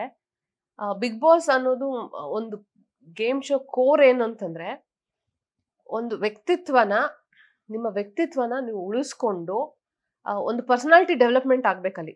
ಹೆಂಗೆ ನೀವು ನಿಮ್ಮ ನಿಮ್ ಕಂ ನಿಮ್ ಕಂಟ್ರೋಲ್ ನೀವು ನೀವು ಇರ್ತೀರಾ? ಹೆಂಗೆ ನೀವು ನಿಮ್ ಪೇಷನ್ಸ್ ಪೇಷಂಟ್ ಆಗಿರ್ತೀರಾ ಅಂದ್ರೆ ಇಂಥ ಸಿಚುವೇಶನ್ ಬಂದ್ರು ಹ್ಯಾಂಡಲ್ ಮಾಡ್ಕೊಂಡು ಪೇಷನ್ಸ್ ಆಗಿ ಯಾವ ಲೆವೆಲ್ ವರ್ಗು ನಿಮ್ ಪೇಷನ್ಸ್ ಇದೆ? ಯಾವ ಲೆವೆಲ್ ವರ್ಗು ನಿಮ್ ಮೆಚುರಿಟಿ ಇದೆ? ಅಂದ್ರೆ ಬಿಗ್ ಬಾಸ್ ಮನೆಗೆ ಬಂದು ನಿಮ್ಮನ್ನ ನೀವು ಕಳ್ಕೊಳ್ಳೋದಲ್ಲ ನಿಮ್ಮನ್ನ ನೀವು ಹುಡ್ಕೊಳ್ಳೋದಾಗಿರ್ಬೇಕಾಗಿತ್ತು. ಸೊ ಇಲ್ಲಿ ನಮ್ಮನ್ನ ನಾವು ಕಳ್ಕೊಂಡು ಹೋಗ್ತಾ ಇದೀವೇನೋ ಅಂತ ಅನ್ಸ್ತಾರೆ. ಅಂದ್ರೆ ಯಾವುದೋ ಸೀಸನ್ ಅಲ್ಲಿ ಏನೋ ಒಂದು ವರ್ಕ್ ಆಗಿರುತ್ತೆ. ಸೊ ಅದೇ ತರ ನಾವು ಇದ್- ಇದ್ರೆ ನಾವು ಹಂಗೆ ಕಾಣಿಸ್ಕೊಂತೀವಿ ಜನಕ್ಕೆ ಇಷ್ಟ ಆಗ್ತೀವಿ ಅನ್ನೋ ತರ ಭ್ರಮೆಯಲ್ಲಿ ಇವಾಗ ಜನ ನಮ್, ಇವಾಗ ಕಾಮಿಡಿಯನ್ ಇಂದ ಕಾಮಿಡಿಯನ್ ಕಾಮಿಡಿ ಎಕ್ಸ್ಪೆಕ್ಟ್ ಮಾಡ್ತಿದ್ದಾರೆ ಬಟ್ ಅಲ್ಲೆಲ್ಲೂ ನಾನು ನಡೀತಾ ಇಲ್ಲ ಅದು. ಮಾಡ್ಬೇಕಾಗಿದ್ದು ಅದ್ ಮಾಡ್ತಾ ಇಲ್ಲ. ಬೇರೆ ಮಾಡಕ್ ಮಾಡಕ್ ಹೊರಟಿದ್ದಾರೆ. ಅವ್ರು ಅಲ್ದೇ ಇರೋದನ್ನ ಅವ್ರು ಆಗಕ್ ಹೊರಟಿದ್ದಾರೆ. ಜನಕ್ಕೆ ಇವಾಗ ಒಬ್ಬರ ಬಗ್ಗೆ ಇರೋ ಒಪಿನಿಯನೇ ಚೇಂಜ್ ಆಗಿದೆ. ಈಗ ನಮ್ಮ ಬಗ್ಗೆ ಒಂದು ಒಪಿನಿಯನ್ ಇಟ್ಕೊಂಡಿದ್ರಲ್ಲ ಇಷ್ಟು ವರ್ಷ? ಸೊ ಅದಿನ್ನೂ ಹಾಳಾಗಿದೆ ಹೊರತು. ಅಂದ್ರೆ ನಮ್ಮನ್ನ ನಾವು ಕಳ್ಕೊಂಡು ಆಚೆಗೆ ಬರ್ತಾ ಇದೀವಿ ಇವಾಗ ಮಂಜೋರ್ ಆಗೋ, ಆಡೋ ಡಬಲ್ ಗೇಮ್ ಇರ್ಬೋದು. ಈಗ ಅವ್ರನ್ನ ಸಿನಿಮಾದಲ್ಲಿ ನೋಡಿರೋರು ಎಷ್ಟೋ ಜನ ಅಭಿಮಾನಿಗಳು ಅವ್ರನ್ನ ಅಪ್ರಿಶಿಯೇಟ್ ಮಾಡಿರ್ತಾರೆ. ಇವಾಗ ಇಲ್ಲಿ ಇವ್ರು ಹೆಣ್ಮಕ್ಳನ್ನ ಚೂ ಬಿಡೋದು ಹೆಣ್ಮಕ್ಳನ್ನ ಹತ್ರ ಮಾತಾಡೋದು, ಹೆಣ್ಮಕ್ಳ ಬಗ್ಗೆ ಮಾತಾಡೋದು ರಿಲೇಶನ್ಶಿಪ್ ಇಟ್ಕೊಂಡಿದ್ದಾರೆ ಅಂತ ಮಾತಾಡಿದಾಗ ಜನಕ್ಕೆ ಹೆಂಗ್ ಅನ್ಸುತ್ತೆ? ಸೊ ನಿಮ್ಮನ್ನ ನೀವು ಅಲ್ಲಿ ಕಳ್ಕೊಂಡ್ ಬರ್ಬೇಡಿ. ಎಲ್ರಿಗೂ ನಾನು ಹೇಳೋದಷ್ಟೇ ನಿಮ್ ನಿಮ್ಮನ್ನ ನೀವು ಹುಡ್ಕೊಂಡ್ ಬನ್ನಿ ಅಷ್ಟೇ. ಕಳ್ಕೊಂಡಂತೂ ಬರ್ಬೇಡಿ. ಯಾರೋ ಒಬ್ರು ಜಗಳ ಮಾಡ್ತಾ ಇದ್ರೆ ನಾನು ಆಯ್ತು ಜಗಳ ಮಾಡಿ ಆಯ್ತು ಫೈನ್ ನಿಮ್ದೇನಿದೆ ಅದ್ ಹೇಳಿ. ಅಷ್ಟೇ ಮುಗೀತು. ಅವ್ರು ಇನ್ನೂ ಜಗಳ ಆಡ್ತಾ ಇದ್ರೆ ಏನ್ ಮಾಡ್ತಾರೆ ಅಂದ್ರೆ ಅವ್ರ ಕ್ಯಾಮ್ರಾಗಳಿದೆ ನಮ್ದು ಹೇಳ್ತಿರೋದು ಹಾ. ಎಲ್ಲ ರೆಕಾರ್ಡ್ ಆಗ್ತಿದೆ ಅನ್ನೋದು ಯಾವ್ದು ಕೆಲವೊಂದ್ಸಲ ಅವರು ಹೇಳಿರ್ತಾರೆ. ಬಟ್ ನೆಕ್ಸ್ಟ್ ಮೂಮೆಂಟ್ ಅಲ್ಲಿ ಆತರ ಹೇಳೇ ಇಲ್ಲ ಅನ್ನೋ ತರ ಹೌದು. ಇದ್ ಮಾಡ್ತಾರೆ. ಬಟ್ ಕ್ಯಾಮ್ರಾ ಇದೆ ಅನ್ನೋದು ಐಡಿಯಾನೇ ಇಲ್ವಾ ಅಂತ ಅವ್ರಿಗೆ? ಇಲ್ಲ ಐಡಿಯಾ ಎಲ್ಲ ಇದೆ. ಐಡಿಯಾ ಇಲ್ಲ ಅಂತಲ್ಲ. ಯಾವಾಗ ಅದನ್ನ ಪಾಯಿಂಟ್ ಔಟ್ ಮಾಡಿ ನೀವು ಮಾಡಿ ತಪ್ಪು ಅಂದಾಗ ನಾನು ಮರ್ತ್ಬಿಟ್ಟೆ ಅದನ್ನ ಅಂತಾರೆ ಅಷ್ಟೇ. ಹ್ಮ್. ಸೊ ಅದು ಈಸಿ ವೇ ಆಫ್ ಎಸ್ಕೇಪಿಂಗ್ ಅಲ್ವಾ? ಅಂದ್ರೆ ಮಾತಾಡ್ಬಿಟ್ಟು ಆಗಿದೆ. ಹೌದಾ? ನಾನು ಮಾತಾಡಿಲ್ ಮಾತಾಡಿಲ್ವಲ್ಲ ಹಂಗೆ ಅಂತ ಅಂದ್ಬಿಟ್ರೆ ಅಂದ್ರೆ ಅವ್ರ ಪಾಪ ಅವರು ಸಿಟ್ಟಿನ ಬರದಲ್ಲಿ ಹಂಗೆ ಹೇಳ್ಬಿಟ್ಟಿದ್ದಾರೆ. ಫ್ಲೋ ಅಲ್ಲಿ ಹಂಗೆ ಬಂದು ಹೋಗ್ಬಿಟ್ಟಿದೆ ಅಂತ ಅನ್ಕೊಳ್ಳಿ ಅನ್ನೋ ತರ ಆಗ್ತಿದೆ ಅದು. ಸೊ ನಿಮ್ಗೆ ಸ್ಟಾರ್ಟಿಂಗ್ ಅಲ್ಲೇ ಕ್ಯಾಪ್ಟನ್ ಆಗಿದ್ದು ಸ್ವಲ್ಪ ರಿಸ್ಕ್ ಅಂತ ಯಾಕಪ್ಪ ಬೇಕಿತ್ತು ನಂಗೆ ಕ್ಯಾಪ್ಟನ್ ಅನಿಸ್ತು ಫಸ್ಟ್ ಟೈಮ್ ಕ್ಯಾಪ್ಟನ್ ಆಗಿದೆ ಅಂತೂ ಸಿಕ್ಕಾಪಟ್ಟೆ ನಾನು ರಿಸ್ಕ್ ತಗೊಂಡೆ ಅಂತ ಅನ್ಸ್ತು. ಅಂದ್ರೆ ನರ್ಕದಲ್ಲಿರೋರ್ ಕಷ್ಟ ನೋಡೋಕ್ಕಾಗದೆ ನಾನು ಕ್ಯಾಪ್ಟನ್ ಆಗ್ಬೇಕು ಅನ್ನೋ ನಿರ್ಧಾರಕ್ಕೆ ಬಂದಿದ್ದು. ಯಾಕಂದ್ರೆ ಯಾರು ಅವ್ರನ್ನ ಸ್ವಾಕ್ ಮಾಡ್ಕೊಳಕ್ ರೆಡಿ ಇರ್ಲಿಲ್ಲ. ಸೊ ನನ್ಗೆ ಅವ್ರೆಲ್ಲಾರು ನಾಮಿನೇಟ್ ಮಾಡಿದ್ರಿಂದ ಅವ್ರ ಮೇಲೆ ಸ್ವರ್ಗದವ್ರ ಮೇಲೆ ಸ್ವಲ್ಪ ಬೇಜಾರು ಇದ್ದಿದ್ರಿಂದ ನರ್ಕದವರು ನರ್ಕದವರು ಇಲ್ಲಿ ಬಂದ್ರೆ ಅವರು ಆರೋಗ್ಯದಲ್ಲಿ ತುಂಬಾ ದಿನಕ್ಕೆ ತೊಂದರೆ ಆಗಿತ್ತು ಕೂಡ. ಸೊ ಎಲ್ಲ ಸುಧಾರಿಸ್ಕೊಬೋದು. ಆಮೇಲೆ ಟಾಸ್ಕ್ಗಳು ಬಂದಾಗ ಹೆಂಗೋ ಸ್ವರ್ಗದವ್ರು ಗೆಲ್, ಗೆದ್ಕೋಬೋದು. ಟಾಸ್ಕ್ ವಿಷಯ ಅಥವಾ ಬೇರೆ ಏನಾದ್ರು ನಂಗೆ ಆಪರ್ಚುನಿಟಿ ಸಿಕ್ಕಿದಾಗ ಸ್ವರ್ಗದವ್ರನ್ನ ಸ್ವಾಪ್ ಮಾಡ್ಕೊಳ್ಳೋದು. ಏನೋ ಒಂದು ಮಾಡೋಣ. ಫಸ್ಟ್ ಈಗ ನರ್ಕದವ್ರು ಅಟ್ಲೀಸ್ಟ್ ಇಲ್ಲಿಗೆ ಬರಬೇಕು ಅನ್ನೋ ಒಂದು ಥಾಟಲ್ಲಿ ನಾನು ಮಾಡಿದ್ದು. ಇಲ್ಲಾಂದ್ರೆ ಫಸ್ಟ್ ವೀಕ್ ಕ್ಯಾಪ್ಟನ್ ಆಗೋ ರಿಸ್ಕೇ ನನಗೆ ಬೇಕಾಗಿರ್ಲಿಲ್ಲ. ಯಾಕಂದ್ರೆ ಬೇರೆಯವರು ಬೇರೆಯವರು ಗಂಡು ಮಕ್ಕಳೇ ಅಲ್ಲಿ ಫಸ್ಟ್ ವೀಕ್ ಕ್ಯಾಪ್ಟನ್ ಆಗೋದಕ್ಕೆ ಹಿಂದೆ ಮುಂದೆ ನೋಡಿದ್ರು. ಹೆಂಗೆ ನೋಡೋಣ. ನಾವು ನಾವೇ ಇನ್ನೂ ರೂಲ್ಸ್ ಅಂಡ್ ರೆಗ್ಯುಲೇಷನ್ ಅರ್ಥ ಮಾಡ್ಕೊಂಡಿಲ್ಲ ಸರಿಗೆ. ಸೊ ಕ್ಯಾಪ್ಟನ್ ಆಗ್ಬಿಟ್ಟು ಏನು ಮಾಡೋದು ಅಂತ ಹಿಂದೇಟ್ ಹಾಕಿದ್ರು. So but I took a risk because ಅವ್ರಿಗೇನೋ ಒಂದು ಒಳ್ಳೇದಾಗ್ಲಿ ಅನ್ನೋ ಒಂದು ಥಾಟ್ ಇಂದ ಮಾಡಿದೆ. ಬಟ್ ಅದನ್ನ ಕೊನೆಗೆ ಅವರು ಅಪ್ರಿಶಿಯೇಟ್ ಮಾಡಲಿಲ್ಲ. ಎಲ್ಲರೂ ಹೆಂಗಾಯ್ತು ಅಂತಂದ್ರೆ, ಯಾರೋ ಒಬ್ರು ಎಡು ಬಿದ್ರಲ್ಲ, ಅವ್ರ ಮೇಲೆ ಇನ್ನೊಂದಷ್ಟು ಆಳ್ಗೊಂದ್ ಕಲ್ಲು ಹೊಡೆಯೋಣ ಅನ್ನೋ ತರಾನೇ ಮಾಡಿದ್ರು ಅಷ್ಟೇ. ಬಟ್ ಅದೇ ಆ ಕಲ್ ಏಟ್ಗಳನ್ನ ತಗೊಂಡು ನಾನು ನಿಂತಿದ್ದು ನನ್ನ ಸ್ಟ್ರೆಂತ್ ಆಗಿತ್ತು. ಅದು ಬಟ್ ಅವ್ರು ಅವ್ರು ಪೋರ್ಟ್ರೇಟ್ ಮಾಡಿದ್ದು ನನ್ನ ವೀಕ್ನೆಸ್ ಆಯ್ತು ಅಂತ. ಸೊ ನೀ ಕ್ಯಾಪ್ಟನ್ ಆದಾಗ ಜಗದೀಶ್ ಅವ್ರು ತುಂಬಾ ಟಾರ್ಚರ್ ಕೊಟ್ರು ಅಂತ ಹೇಳಿ. ನರ್ಕಕ್ಕೆ ಕಳ್ಸಿದ್ದಲ್ಲ? ಸೊ ಅದಕ್ಕೆ ಅವರು ಆಕ್ಚುಲಿ ನನ್ನ ಕ್ಯಾಪ್ಟನ್ ಆಗುವಾಗ ಆ, ಹೇಳ್ತಾ ಇದ್ರು ನನ್ನನ್ನೇನೋ ನರ್ಕಕ್ಕೆ ಕಳ್ಸಿದೆ ಅಷ್ಟೇ ನಿನ್ಗೈತೆ ನಿನ್ಗೈತೆ ಅಂತ ಇದ್ರು. ಸೊ ಅವರು ರೂಲ್ಸ್ ಅಂಡ್ ರೆಗ್ಯುಲೇಷನ್ಸ್ ಬ್ರೇಕ್ ಮಾಡಿದ್ರಿಂದ ನಾನು ಅವ್ರನ್ನ ನರ್ಕಕ್ಕೆ ಕಳಿಸ್ದೆ. ಅದೇ ಅವ್ರಿಗೆ ಅದು ಬೇಜಾರಾಯ್ತು. ನನ್ನ ನರ್ಕಕ್ಕೆ ಕಳಿಸಿದೆ ಅಂತ. ಬಟ್ ಅಲ್ಲಿ ಅವ್ರಿಗೆ ಏನೂ ತೊಂದರೆ ಆಗಿಲ್ಲ. ಯಾಕಂದ್ರೆ ಒಂದು ಟಾಸ್ಕ್ ಗೆಲ್ತಾರೆ ಊಟ ತಿಂಡಿ ಎಲ್ಲ ಸಪ್ಲೈ ಆಗುತ್ತೆ ಆರಾಮಾಗೇ ಇದ್ರು ಬಟ್ ಇನ್ ಅದು ಹಂಗಿದ್ರು ನನ್ನ ಬಗ್ಗೆ ಅನ್ಮೀನ್ ತುಂಬ ಟಾರ್ಚರ್ ಕೊಟ್ಟಿದೆ ಅವರು. ತುಂಬ ಒಂಥರ ಅದು ಕೊಟ್ಟು ಕಳಿಸು, ಇದು ಕಳಿಸು, ಹಿಂಗೆ ಮಾಡು ಹಿಂಗೆ ಮಾಡು. ಕ್ಯಾಪ್ಟನ್ ಆಗೋಕ್ಕೆ ನೀನು ಲಾಯಕ್ಕಿಲ್ಲ. ಓಕೆ ಓಕೆ ನಾನು I I I didn't get offended ಅಂದರೆ ನಿನ್ನ ಕ್ಯಾಪ್ಟನ್ ಆಗೋಕ್ಕೆ ಲಾಯಕ್ಕಿಲ್ಲ ಅಂತ ನೀನು ಹೇಳಿಬಿಟ್ರೆ ಅದಾಗೋದಿಲ್ಲ. ಅವರೇ ಹೇಳಿದ್ರು, ನೀ ಕ್ಯಾಪ್ಟನ್ ಆಗೋ ಪೊಟೆನ್ಷಿಯಲ್ ಎಲ್ಲ ಈ ಹುಡುಗಿಗಿದೆ ಅಂತ. ನೆಕ್ಸ್ಟ್ ಮೂಮೆಂಟ್ ಅವರೇ ಹೇಳ್ತಾರೆ, ನೀನು ಕ್ಯಾಪ್ಟನ್ ಆಗೋಕ್ಕೆ ಲಾಯಕ್ಕಿಲ್ಲ ಅಂತ. ಸೊ ಎರಡೆರಡು ಥರ ಮಾತಾಡೋರ್ನ ಜನ ನೋಡ್ತಿರ್ತಾರಲ್ಲ ನಾನು ನಾನು ನಿಂತ್ಕೊಂಡು ಆ ಅಪ್ಪನ ಹತ್ರ ಬಾಯ್ ಕೊಡೋಷ್ಟು ನನಗೆ ಆ ಲೆವೆಲ್ಗೆ ಇಳ್ ಇಳಿದು ಜಗಳ ಮಾಡೋವಂಥ ಅವಶ್ಯಕತೆನೇ ಇರಲಿಲ್ಲ. ಸೊ ನಾನು ಹೇಳಬೇಕಾಗಿತ್ತು ಹೇಳ್ದೆ ಮುಗಿಸ್ದೆ ಅಷ್ಟೇ ಬಂದೆ. ಸೊ ಆರಂಭದಲ್ಲಿ ಜಗದೀಶ್ ಅವ್ರನ್ನ ಯಾರು ಅಷ್ಟು ತಲೆ ಕೆಡ್ಸ್ಕೊಂತೀರಿ ಇಗ್ನೋರ್ ಮಾಡ್ತಾ ಇದ್ರು. ಬಟ್ ನಂತರ ಒಬ್ಬೊಬ್ಬರಿಗೆ ತುಂಬಾ ಅವ್ರ ಮೇಲೆ ಇದಾದ್ರು. ಅಂದ್ರೆ ಅಷ್ಟು ಗ್ಯಾಪ್ ಅಲ್ಲಿ ಅಷ್ಟು ಈ ಟೈ ಕಡಿಮೆ ಟೈಮಲ್ಲಿ ಅಷ್ಟೊಂದು ಅವ್ರ ಮೇಲೆ ಎಲ್ಲರೂ ಇದಾಗೋ ಥರದ್ದು ಏನೇ ನಡೀತು ಅಂತ ನಿಮ್ ಅವ್ರ ಫಸ್ಟ್ ಡೇಯಿಂದನೂ ನಾವು ಹೇಳೋ ಮಾತು ಯಾವುದೂ ಕೇಳ್ತಾ ಇರಲಿಲ್ಲ ಅಂದರೆ ಸ್ವರ್ಗದಿಂದ ನರಕಕ್ಕೆ ಊಟಗಳನ್ನ ಕೊಡಬಾರ್ದು, ನಮಗಿರೋ ಲಕ್ಸುರಿನ ಅವ್ರು ಕೊಡಬಾರ್ದು ಅಂತ ಹೇಳಿದ್ರು, ಅವ್ರು ಕೇಳ್ತಾ ಇರಲಿಲ್ಲ ನಮ್ಮ ಮಾತು ಕೇಳ್ತಾ ಇರ್ಲಿಲ್ಲ ನಮ್ಗೆ ಸಿಕ್ಕಾಪಟ್ಟೆ ಸಿಟ್ಟು ಬರೆಸ್ತಾ ಇದ್ರು ಅವರಿಂದ ನಾವು ಒಂದು ದಿವಸ ಊಟನೂ ನಮಗೆ ಸಿಕ್ಕಿರೋ ಲಕ್ಸುರಿನೂ ಕಳ್ಕೊತೀವಿ. ಒಂದಿನ ನಾವು ನರ್ಕದವ್ರು ಏನು ಊಟ ಮಾಡಿದ್ರು ಅದೇ ಊಟನೂ ನಾವು ಮಾಡಬೇಕಾಗತ್ತೆ. ಸೊ ಅಲ್ಲಿಂದ ಶುರುವಾಗುತ್ತೆ ನಮಗೆ ಅವ್ರ ಬಗ್ಗೆ ಮನಸ್ತಾಪಗಳು ಸ್ಟಾರ್ಟ್ ಆಗತ್ತೆ. ಸೊ ಅಲ್ಲಿ ಹಂಗೆ ಮಾಡ್ತಿದ್ದಾರೆ ಓಕೆ ಅದೇನೋ ಟಾ ಐ ಮೀನ್ ಕಂಟೆಂಟ್ ಕೊಡೋಕೋ ಅಥವಾ ಅದೇನೋ ಒಂದು ಸ್ಟ್ರಾಟಜಿನೋ ಅಂತ ಅನ್ಕೊಂಡು ನಾವು ಸುಮ್ಮನೆ ಆದ್ವಿ. ಆಮೇಲೆ ಅವ್ರು ಪರ್ಸನಲ್ ಆಗಿ ಟಾರ್ಗೆಟ್ ಮಾಡಕ್ ಶುರು ಮಾಡ್ತಾರೆ. ಪ್ರೊಫೆಷನ್ಸ್ ಬಗ್ಗೆ ಮಾತಾಡ್ತಾರೆ. ನೀವೇನು ಕಾಮಿಡಿಯನ್ನು ನೀವೇನು ಆ್ಯಕ್ಟ್ರು ನೀವು ಇಲ್ಲೇನು ಊಟ ಹೊಡ್ಕೊಂಡಿದ್ದೀರಾ, ನಿಮ್ಗೇನು ಮಾಡೋಕ್ಕೆ ಬೇರೆ ಕೆಲಸ ಮಾಡೋಕ್ಕೆ ಯೋಗ್ಯತೆ ಇಲ್ಲ ಅಂತ ಬಾಡಿ ಬಿಲ್ಡರ್ಗಳು ಐ ಮೀನ್ ಬಾಡಿ ಬೆಳೆಸ್ಕೊಂಡು ಓಡಾಡ್ತೀರಾ ಅಂತ ಅವ್ರಿಗೆ ಎಲ್ರಿಗೂ ಒಂಥರ ಪರ್ಸ್ನಲ್ ಆಗೇ ಮಾತಾಡೋಕ್ಕೆ ಶುರು ಮಾಡ್ತಾರೆ. ಚೈತ್ರವ್ರಿಗೂ ಅಷ್ಟೇ ಅವ್ರದ್ದೇನೋ ಹೊರಗಿಂದೇನೋ ಒಂದು ಪರ್ಸನಲ್ ವಿಷಯನ ಇಟ್ಕೊಂಡು ಮಾತಾಡ್ತಾರೆ. ಆಧ್ಯಾತ್ಮಿಕವಾಗಿ ನಮ್ಮ ನಂಬಿಕೆಗಳು ನಮ್ಗೆ ಇರುತ್ತೆ. ಅದ್ರ ಬಗ್ಗೆನೂ ಮಾತಾಡ್ತಾರೆ. ದೇವ್ರ ವಿಷಯ ಬಂದಾಗ ಶಿವ ಎಲ್ಲಿದ್ದಾನೆ ಎಲ್ಲ ಬರೀ ಸುಳ್ಳು, ಅದು ಇದು. ಅವ್ರ ಚೈತ್ರ ಅವರು ಅದ್ರ ಬಗ್ಗೆ ಮಾತಾಡಿದಾಗ ಅದನ್ನ ಬಗ್ಗೆನೂ ಕೆಣಕ್ತಾರೆ. ಬೇಡದಿರೋ ಟಾಪಿಕಲ್ಲೆಲ್ಲ ಕೆಣಕ್ತಾ ಹೋಗ್ತಾರೆ. ನಾವು ಎಲ್ಲ ಓಕೆ ಇಗ್ನೋರ್ ಮಾಡ್ತಾನೆ ಬಂದ್ವಿ. ಬಟ್ ಯಾವಾಗ ತುಂಬಾ ಒಂಥರ ವಲ್ಗರ್ ಆಯ್ತಾ, ಆಗ್ತಾ ಹೋಯ್ತು ನಮ್ಗೆ ಅದು ಸರಿ ಅನ್ಸ್ಲಿಲ್ಲ. ಈಗ ಹೆಣ್ಮಕ್ಳ ಬಗ್ಗೆ, ಒಬ್ರ ಬಗ್ಗೆ ಮಾತಾಡಿದ್ರೆ ಪರವಾಗಿಲ್ಲ. ಏನೋ ಓಕೆ. ಈಗ ನಾನು ಅವ್ರನ್ನ ಅವಾಯ್ಡ್ ಮಾಡಿ ವಿಕ್ರಮ್ ಜೊತೆ, ರಂಜಿತ್ ಜೊತೆ ಹೋದೆ. ಅದಕ್ಕೆ ನನ್ನ ಬಗ್ಗೆ ಮಾತಾಡ್ತಿದ್ದಾರೆ ಅಂದ್ರೆ ಓಕೆ ಅನ್ಬೋದು. ಅವ್ರು ಎಲ್ರ ಬಗ್ಗೆ ಮಾತಾಡಿದ್ದಾರೆ. ಗೌತಮಿ ಬಗ್ಗೆ ಮಾತಾಡಿದ್ದಾರೆ. ಮಾನ್ಸ ಬಗ್ಗೆ ಮಾತಾಡಿದ್ದಾರೆ. ಚೈತ್ರ ಬಗ್ಗೆ ಮಾತಾಡಿದ್ದಾರೆ. ನನ್ನ ಬಗ್ಗೆ ಮಾತಾಡಿದ್ದಾರೆ. ಸೊ, ಅವ್ರ ಇಂಟೆನ್ಷನ್ ಏನು? ಹುಡುಗರ ಬಗ್ಗೆನೂ ಮಾತಾಡಿದ್ದಾರೆ. ಹ್ಮ್, ಸೊ, ಒಂಥರ ಅದು ಯಾರಿಗೂ ಅಷ್ಟೊಂದು ತಗೊಳಕ್ ಆಗ್ಲಿಲ್ಲ. ಒಂದಾದ್ಮೇಲೆ ಒಂದು ಒಂದಾದ್ಮೇಲೆ ಒಂದು ಮಾತಾಡ್ತಾನೆ ಹೋದ್ರು. ಕೊನೆಗೆ ಬಿಗ್ ಬಾಸ್ ಶೋ ಬಗ್ಗೆ ಮಾತಾಡ್ತಾರೆ. ಸೊ ಚಾನೆಲ್ ಬಗ್ಗೆ ಮಾತಾಡ್ತಾರೆ. ಅಂದ್ರೆ ನಾವು ಅನ್ನ ತಿಂತಾ ಈ ಚಾನೆಲ್ ಇಂದ. ಶೋ ಬೇಕಾದ ಶೋಗಳು ಮಾಡಿದೀವಿ ಚಾನೆಲ್ ಅಲ್ಲಿ. ಸೊ ನಮ್ಮನ್ನ ಬೆಳೆಸಿರೋರು, ಉಳಿಸಿರೋರ್ ಬಗ್ಗೆ ಮಾತಾಡ್ತಾ ಇದ್ರು ನಮ್ಗೆ ಅಕ್ಸೆಪ್ಟ್ ಮಾಡ್ಕೊಳಕ್ ನಾವು ರೆಡಿ ಇರ್ಲಿಲ್ಲ. ಮೇ ಬಿ ಬಿಗ್ ಬಾಸ್ ಅದನ್ನ ತುಂಬಾ ಮೆಚೂರ್ ಆಗಿ ತಗೊಂಡ್ರು. ಅಂದ್ರೆ ಇಂಥವ್ರನ್ನ ತುಂಬಾ ಜನ ನೋಡಿರ್ತಾರೆ. ಸೊ ಕನ್ಫೆಷನ್ ರೂಮ್ ಕರೆದು ನೀವು ಹಂಗೆಲ್ಲ ಮಾತಾಡಬಾರ್ದು ಶೋ ಬಗ್ಗೆ ಅದ್ರ ಬಗ್ಗೆ ನಿಮ್ಗೆ ಏನಾಗಿದೆ, ಏನು ಪ್ರಾಬ್ಲಮ್ಮು ಅಂತೆಲ್ಲ ಕೇಳ್ತಾರೆ. ಆಮೇಲೆ ಮತ್ತೆ ಬರ್ತಾರೆ. ಸಾರಿ ಕೇಳ್ತಾರೆ. ಇನ್ಮೇಲಿಂದ, ಓಕೆ, ಹಂಗೆ ಮಾತಾಡಲ್ಲ ಅಂತ ಹೇಳ್ತಾರೆ. ಮತ್ತೆ ನೆಕ್ಸ್ಟ್ ಡೇ ಅದೇ ಅದೇ ರಿಪೀಟ್ ಆಗುತ್ತೆ. ಅಂದ್ರೆ ಒಬ್ಬ ಒಬ್ಬ ವ್ಯಕ್ತಿ ತಪ್ಪು ತಿದ್ಕೊಂಡ ಅಂದ್ರೆ ಮತ್ತೆ ರಿಪೀಟ್ ಆಗಬಾರ್ದಲ್ವಾ? ಅವ್ರು ಒಂಥರ ಟೇಕ್ ಇಟ್ ಫಾರ್ ಗ್ರಾಂಟೆಡ್ ಅಂದ್ರೆ ಹೇಳ್ತಿದ್ರು ಅವರು, ಇಲ್ಲಿ ಕಂಟೆಂಟ್ ಕೊಡ್ತಾ ಇರೋದೇ ನಾನು. ಟಿ ಆರ್ ಪಿನೇ ನಾನು. ಸೊ ಹಾಗಾಗಿ, ಬಿಗ್ ಬಾಸ್ ಸಮಾಧಾನ ಮಾಡಿ ಕಳಿಸೋದು ಅವ್ರಿಗೊಂಥರ ಟೇಕ್ ಇಟ್ ಫಾರ್ ಗ್ರಾಂಟೆಡ್ ತರ ಆಯ್ತು. ಆ ಸೊ ನನ್ ಸಮಾಧಾನ, ಇಷ್ಟು ಬೈದ್ರು ನಂಗೆ ಸಮಾಧಾನ ಮಾಡಿ ಕಳಿಸ್ತಾ ಇದ್ದಾರೆ ಅಂದ್ರೆ ಅವ್ರಿಗೆ ನನ್ನ ಅವಶ್ಯಕತೆ ಇದೆ. ಸೊ ಅದು ಒಂಥರ ಎಲ್ರೂ ಎಲ್ರಿಗೂ ಬೇಜಾರಾಗ್ತಿತ್ತು ಆ ಥರ ಮಾತಾಡೋದು. ಯಾವಾಗ ಅವ್ರದ್ದು ಫೌಲ್ ಲ್ಯಾಂಗ್ವೇಜಸ್ ತುಂಬಾ ಅಂದ್ರೆ ತುಂಬ ಅದಕ್ಕೆ ಮುಂಚೆನೇ ಯೂಸ್ ಮಾಡಿದ್ರು. ಹಾ. ಹಾ, ತುಂಬಾ ಯೂಸ್ ಮಾಡಿದ್ದಾರೆ. ತುಂಬಾ ಸಲ ರಿಪೀಟ್ ಆಗ್ತಾ ಇದ್ದಂಗೆ ಅದು ಎಲ್ರಿಗೂ ಮಿತಿ ಮೀರಿ ಹೋಯ್ತು ಅಂದ್ರೆ. ಹೊರಗಡೆ ಅವ್ರು ಅವ್ರಿಗೂ ಅವ್ರಿಗೂ ಒಂದಿಷ್ಟು ಜನ ಫ್ಯಾನ್ಸ್ ಅಂತ ಇತ್ತು. ಸೋಷಿಯಲ್ ಮೀಡಿಯಾದಲ್ಲ ಒಂದಿಷ್ಟು ಜನ ಫ್ಯಾನ್ಸ್ ಇದ್ರು ಅವ್ರಿಗೂ ಕೂಡ. ಅವ್ರು ಬಿಗ್ ಬಾಸ್ ಮ ಇರಬೇಕು ವಾಪಸ್ ಹೋಗ್ಬೇಕು ಅಂತೆಲ್ಲ ಸುಮಾರು ಕ್ಯಾಂಪೇನ್ಗಳು ಪೋಸ್ಟ್ಗಳೆಲ್ಲ ಮಾಡ್ತಾ ಇದ್ರು. ಟ್ವಿಟರ್ ಅಲ್ಲಿ ಸೋಷಿಯಲ್ ಮೀಡಿಯಾದಲ್ಲಿ ಸೊ ಅಂಥವ್ರಿಗೆಲ್ಲ ನೀವು ಬಿಗ್ ಬಾಸ್ ಮನೆ ಒಳಗಡೆ ಅವ್ರನ್ನ ನೋಡಿರೋಂಥವ್ರು. ಸೊ ಏನ್ ಹೇಳಕ್ ಇಷ್ಟಪಡ್ತೀರಾ?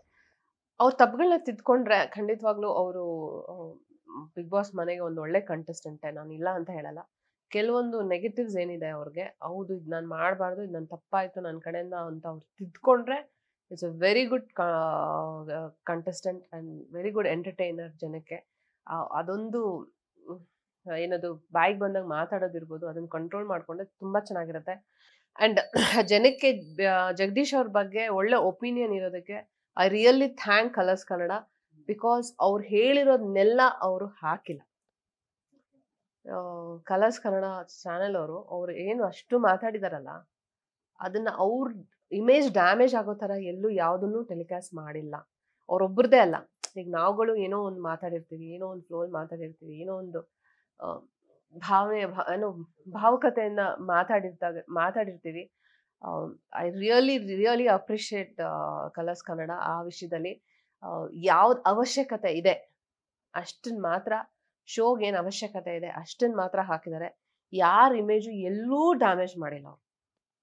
ಎಲ್ಲೂ ಡ್ಯಾಮೇಜ್ ಮಾಡಿಲ್ಲ. ಸುದೀಪ್ ಸರ್ದಿಂದ ಹಿಡಿದು, ಚಾನಲ್ ಅವರಿಂದ ಹಿಡಿದು, ಎಲ್ಲೂ ಯಾರ ಇಮೇಜ್ನು ಡ್ಯಾಮೇಜ್ ಮಾಡಿಲ್ಲ. ಯಾಕಂದ್ರೆ ನನಗೆ, ನಾನು ಹೊರಗೆ ಬಂದಾಗ ನನ್ಗಿದ್ದಿದ್ದು ಅದೇ ಒಂದು ಟೆನ್ಷನ್ ಏನಿತ್ತಂದ್ರೆ ಹಾ ಫ್ಯಾಮಿಲಿ ಬೇಜಾರಾಗೋ ಥರದ್ದು ಏನಾದ್ರು ತೋರಿಸ್ಬಿಟ್ಟಿದಾರಾ? ಈಗ ನಾವು ಜಗದೀಶ್ ಜೊತೆ ಡುವೆಟ್ ಆಡಿರೋದಿರ್ಬೋದು ಅಥವಾ ಅವ್ರ ಜೊತೆ ಕಾನ್ ಕಾನ್ವರ್ಸೇಷನ್ ಮಾಡಿರೋದಿರ್ಬೋದು. ಅದು ಹೆಂಗೆ ಹೊರಗಡೆ ಪ್ರೊಜೆಕ್ಟ್ ಆಗಿದೆ ಅಂತ ಗೊತ್ತಿಲ್ಲ. ಯಾವ ರೀತಿ ತೋರಿಸಿದ್ದಾರೆ ಅಂತ ಗೊತ್ತಿಲ್ಲ. ಈಗ ವಿಕ್ರಮ್ ರಂಜಿತ್ ಜೊತೆ ನಾನು ಇದ್ದಿರೋದಿರ್ಬೋದು. ಈಗ ಜಗದೀಶ್ ಸರ್ಗೆ ನಾವು ಜಲಸ್ ಫೀಲ್ ಮಾಡೋಕ್ಕೋಸ್ಕರ ಅದೊಂದು ಕಂಟೆಂಟ್ ಮಾಡ್ಕೊಂಡಿದ್ವಿ. ಸೊ ಅದನ್ನ ನಾವು ಹೆಂಗೆ ತೋರಿಸಿದ್ದಾರೆ ಅಂತ ಗೊತ್ತಿಲ್ಲ but it's beautifully edited beautifully done ಎಲ್ಲೂ ಯಾರ ಇಮೇಜು ಡ್ಯಾಮೇಜ್ ಆಗದೆ ಇರೋ ಥರ ಅವ್ರು ಮೇಂಟೈನ್ ಮಾಡಿದ್ದಾರೆ ಜಗದೀಶ್ ಅವ್ರ ಬಗ್ಗೆ ಇಷ್ಟೊಂದು ಪಾಸಿಟಿವ್ ಆಗಿ ಜನ ಮಾತಾಡೋದಕ್ಕೆ ಕಲರ್ಸ್ ಕನ್ನಡನೇ ಕಾರಣ ಅಂದ್ರೆ ಮುಂಚೆ ಬಿಗ್ ಬಿಗ್ ಬಾಸ್ ಜಿಯೋ ಸಿನಿಮಾದಲ್ಲಿ ಟ್ವೆಂಟಿ ಫೋರ್ ಇಂಟು ಲೈವ್ ಬರ್ತಾ ಇತ್ತು. ಈ ಸಲ ಬರ್ತಾ ಇಲ್ಲ. ಬಹುಶಃ ಅದೇನಾದ್ರು ಬಂದಿದ್ರೆ ತುಂಬಾ ಕಷ್ಟ ಆಯ್ತು ಅಂತ ಹೇಳ್ತಿದ್ದಾರೆ ಜಗದೀಶ್ ಅವ್ರಿಗೆ ತುಂಬಾ ಕಷ್ಟ ಇರ್ತಿತ್ತು ಓಕೆ. ಜಗದೀಶ್ ಅವ್ರಿಗೆ ಸಖತ್ ಕಷ್ಟ ಆಗ್ತಾಯಿತ್ತು ಓಕೆ. ಅಂದ್ರೆ ನಾವು ಕೇಳಲಾರ್ದಷ್ಟು ಬಹಳ ವಿಷಯಗಳಿದೆ ಅಂತ ಹೌದೌದು. ಜಗ್- ಜಗದೀಶ್ ಅದೇ ಹೇಳನಲ್ಲ ಅವ್ರನ್ನ ಹೀರೋ ಅಂತ ತೋರಿಸಿರೋದಕ್ಕೆ ತೋರಿಸಿರೋದೇ ಕಲರ್ಸ್ ಕನ್ನಡ ಅವರು. ಅವ್ರ ಅವ್ರ ಕೆಲವು ಮಾತುಗಳು ಆಡಿರೋದನ್ನ ಜನಾನು ಕೇಳಿಸ್ಕೊಂಡಿದ್ದಿದ್ರೆ ಮೇ ಬಿ ಅವರು ಅವ್ರಿಗೆ ಕ್ರಶ್ ಆಫ್ ಕರ್ನಾಟಕ ಅಂತ ಖಂಡಿತ ಕೊಡ್ತಾ ಇರ್ಲಿಲ್ಲ ಇಲ್ಲೊಂದು ಮಾತಿದೆ ಅಂದ್ರೆ ಅವ್ರು ನಿಮ್ಮನ್ನ ಪದೇ ಪದೇ ಹಂಸ ಹಂಸ ಅಂತ ಕರ್ಕೊಂಡು ಓಡಾಡ್ಕೊಂಡಿದ್ದಕ್ಕೆ ಅವ್ರಿಗೆ ಕ್ರಶ್ ಆಫ್ ಕರ್ನಾಟಕ ಅಂತ ನಿಮ್ಗೆ ಅನ್ಸುತ್ತೆ? ಅದ್ರ ಬಗ್ಗೆ ಖುಷಿ ಇದೆ. ಸಿ ಅದೆಲ್ಲ ನಾವು ನಾವು ಎಂಜಾಯ್ ಮಾಡ್ತೀವಿ. ಕ್ರಶ್ ಆಫ್ ಕರ್ನಾಟಕ ಅಂತ ಕರ್ಸ್ಕೊಳ್ಳೋದು ಡ್ಯಾನ್ಸ್ ಮಾಡೋದು ಅಥವಾ ತಮಾಷೆ ಮಾಡೋದು ಅದೆಲ್ಲವೂ ಓಕೆ. ಬಟ್ ಪರ್ಸನಲ್ ಆಗಿ ಮಾತಾಡೋದಿರ್ಬೋದು ಫ್ಯಾಮಿಲಿನ ಎಳೆಯೋದಿರ್ಬೋದು ಪ್ರೊಫೆಷನ್ ಎಳೆಯೋದಿರ್ಬೋದು ಅದನ್ನ ನಾವು ಅಕ್ಸೆಪ್ಟ್ ಮಾಡ್ಕೊಳಕ್ಕೆ ನಾಟ್ ರೆಡಿ ಆಮೇಲೆ ಒಂದ್ಸಲ ಮನೆ ಒಳಗಡೆ ಯಾರು ಎಲಿಮಿನೇಟ್ ಆಗಬೇಕು ಯಾರು ತುಂಬಾ ಚೆನ್ನಾಗಿರುತ್ತೆ ಯಾರು ತುಂಬಾ ಜೀನಿಯಸ್ ಅನ್ನೋ ತರದೆಲ್ಲ ಒಂದು ಇದು ಕೊಡ್ತಾ ಇದ್ರು. ಅವಾಗ ಅವ್ರು ನಿಮಗೆ ಸ್ವಲ್ಪ ಜೀನಿಯಸ್ ಅನ್ನೋ ತರ ಸೂಪರ್ ಕೊಟ್ಟು ಫೈನಲಿಸ್ಟ್ ಅಂತ. ಸೊ ಅದ್ರ ಬಗ್ಗೆ ಹೇಳ. ಅವ್ರಿಗೆ ಒಂದು ಸ್ಟೇಬಲ್ ಒಬ್ಬರ ಬಗ್ಗೆ ಒಂದು ಸ್ಟೇಬಲ್ ಒಪಿನಿಯನ್ ಇರಲ್ಲ. ಅದೇ ಹೇಳಿದ್ನಲ್ಲ ಒಂದ್ಸಲ you capable to be a captain ಅಂತ ಬಂದು ಹೊಗಳ್ತಾರೆ. ನರ್ಕಕ್ಕೆ ಕಲ್ಸಿದ ತಕ್ಷಣ ನೀನ್ ಎಂತ ಕ್ಯಾಪ್ಟನ್ ನೀನ್ ಕ್ಯಾಪ್ಟನ್ ಆಗಕ್ಕೆ ಯೋಗ್ಯತೆ ಇಲ್ಲ ಅಂತಾರೆ. ಫೈನಲಿಸ್ಟ್ ಅಂತ ಬಂದು ಕೊಡ್ತಾರೆ ಅವ್ರ ಜೊತೆ ನಾವು ಸೇರ್ಲಿಲ್ಲ ಅಂದ್ರೆ ನೀನ್ ಸರಿ ಇಲ್ಲ ನಿನ್ ಟ್ರಸ್ಟ್ ವರ್ತಿನೇ ಅಲ್ಲ ಏನು ನೀನ್ ಅಂತವಳು ಇಂಥವಳು ಅಂತ ಬೈತಾರೆ. ಸೊ ಕ್ಷಣಕ್ಕೆ ಒಂದೊಂದು ಬಣ್ಣ ಚೇಂಜ್ ಮಾಡ್ತಾ ಇದ್ರೆ ಅಂಥವ್ನ ನಂಬೋದು ತುಂಬಾನೇ ಕಷ್ಟ. ಇವಾಗ ನಿಮ್ ಔಟ್ ಕೊಟ್ಟು ನಿಮ್ಗೆ ಅನ್ಸಿಲ್ಲ ಇವರು? ಅಲ್ಲ ನನ್ಗೆ ಆ ಮೂಮೆಂಟ್ಗೆ ಅಂದ್ರೆ ಎಲ್ಲರೂ ಔಟ್ ಕೊಟ್ಟಾಗ ಆಬ್ವಿಯಸ್ಲಿ ಏನೇ ಸ್ಪೋರ್ಟಿವ್ ಆಗಿ ತಗೊಂಡ್ರು ವಿ ಫೀಲ್ ಬ್ಯಾಡ್ ಲೈಕ್ ಏನಕ್ಕೆ ಇದು ಮಾಡ್ತಿದ್ದಾರೆ ಅಂತ. ಎಲ್ಲ ಹನ್ನೊಂದು ಹನ್ನೆರಡೇನೋ ನನಗೆ ಔಟ್ ಅಂತ ಕೊಟ್ಟಿದ್ದು. ಸೊ ಅದು ನಂಗೆ ತಾನೇ ರಿಸೀವ್ ಮಾಡಿಕೊಂಡೆ no doubt about it but ಮನಸ್ಸಲ್ಲಿ ಆ ಒಂದು ಬೇಜಾರು, ಯಾಕೆ ಏನಂತ ತಪ್ಪೇನು ಮಾಡಿಬಿಟ್ಟೆ ನಾನು? ಏನಂತ ತಪ್ಪು? ಇವಾಗ ನನ್ನ ಜಾಗದಲ್ಲಿ ಬೇರೆಯವ್ರು ಇದ್ದಿದ್ರೆ ಯಾರು ಏನು ತಪ್ಪೇ ಮಾಡಿಲ್ವಾ ಹಂಗಿದ್ರೆ? ಸೊ ಬೇಜಾರಿತ್ತು ಬಟ್ ಅವ್ರು ಫೈನಲಿಸ್ಟ್ ಅಂತ ಕೊಟ್ಟಾಗ, ಅಂದ್ರೆ ನನ್ನನ್ನು ಸ್ವಲ್ಪ ಎಂಕರೇಜ್ ಮಾಡಿದ್ರೆ, ನನ್ನ ಮೋಟಿವೇಟ್ ಮಾಡಿದ್ರೆ she'll be a very good contestant ಅಂತ ಹೇಳಿ ಅವ್ರು ಕೊಡ್ತಾರೆ. ಆ ಮೂಮೆಂಟಿಗೆ ನಂಗೆ ಖುಷಿ ಆಗುತ್ತೆ ಅವ್ರನ್ನ ಹಗ್ ಮಾಡ್ತೀನಿ ಅಳ್ತೀನಿ ಎಲ್ಲ ಆಗುತ್ತೆ. ನೆಕ್ಸ್ಟ್ ಮೂಮೆಂಟ್ ಅವ್ರು ಹೇಳ್ತಾರೆ ಕಂಟೆಂಟ್ಗೋಸ್ಕರ ನಾನು ಮಾಡಿದ್ದು.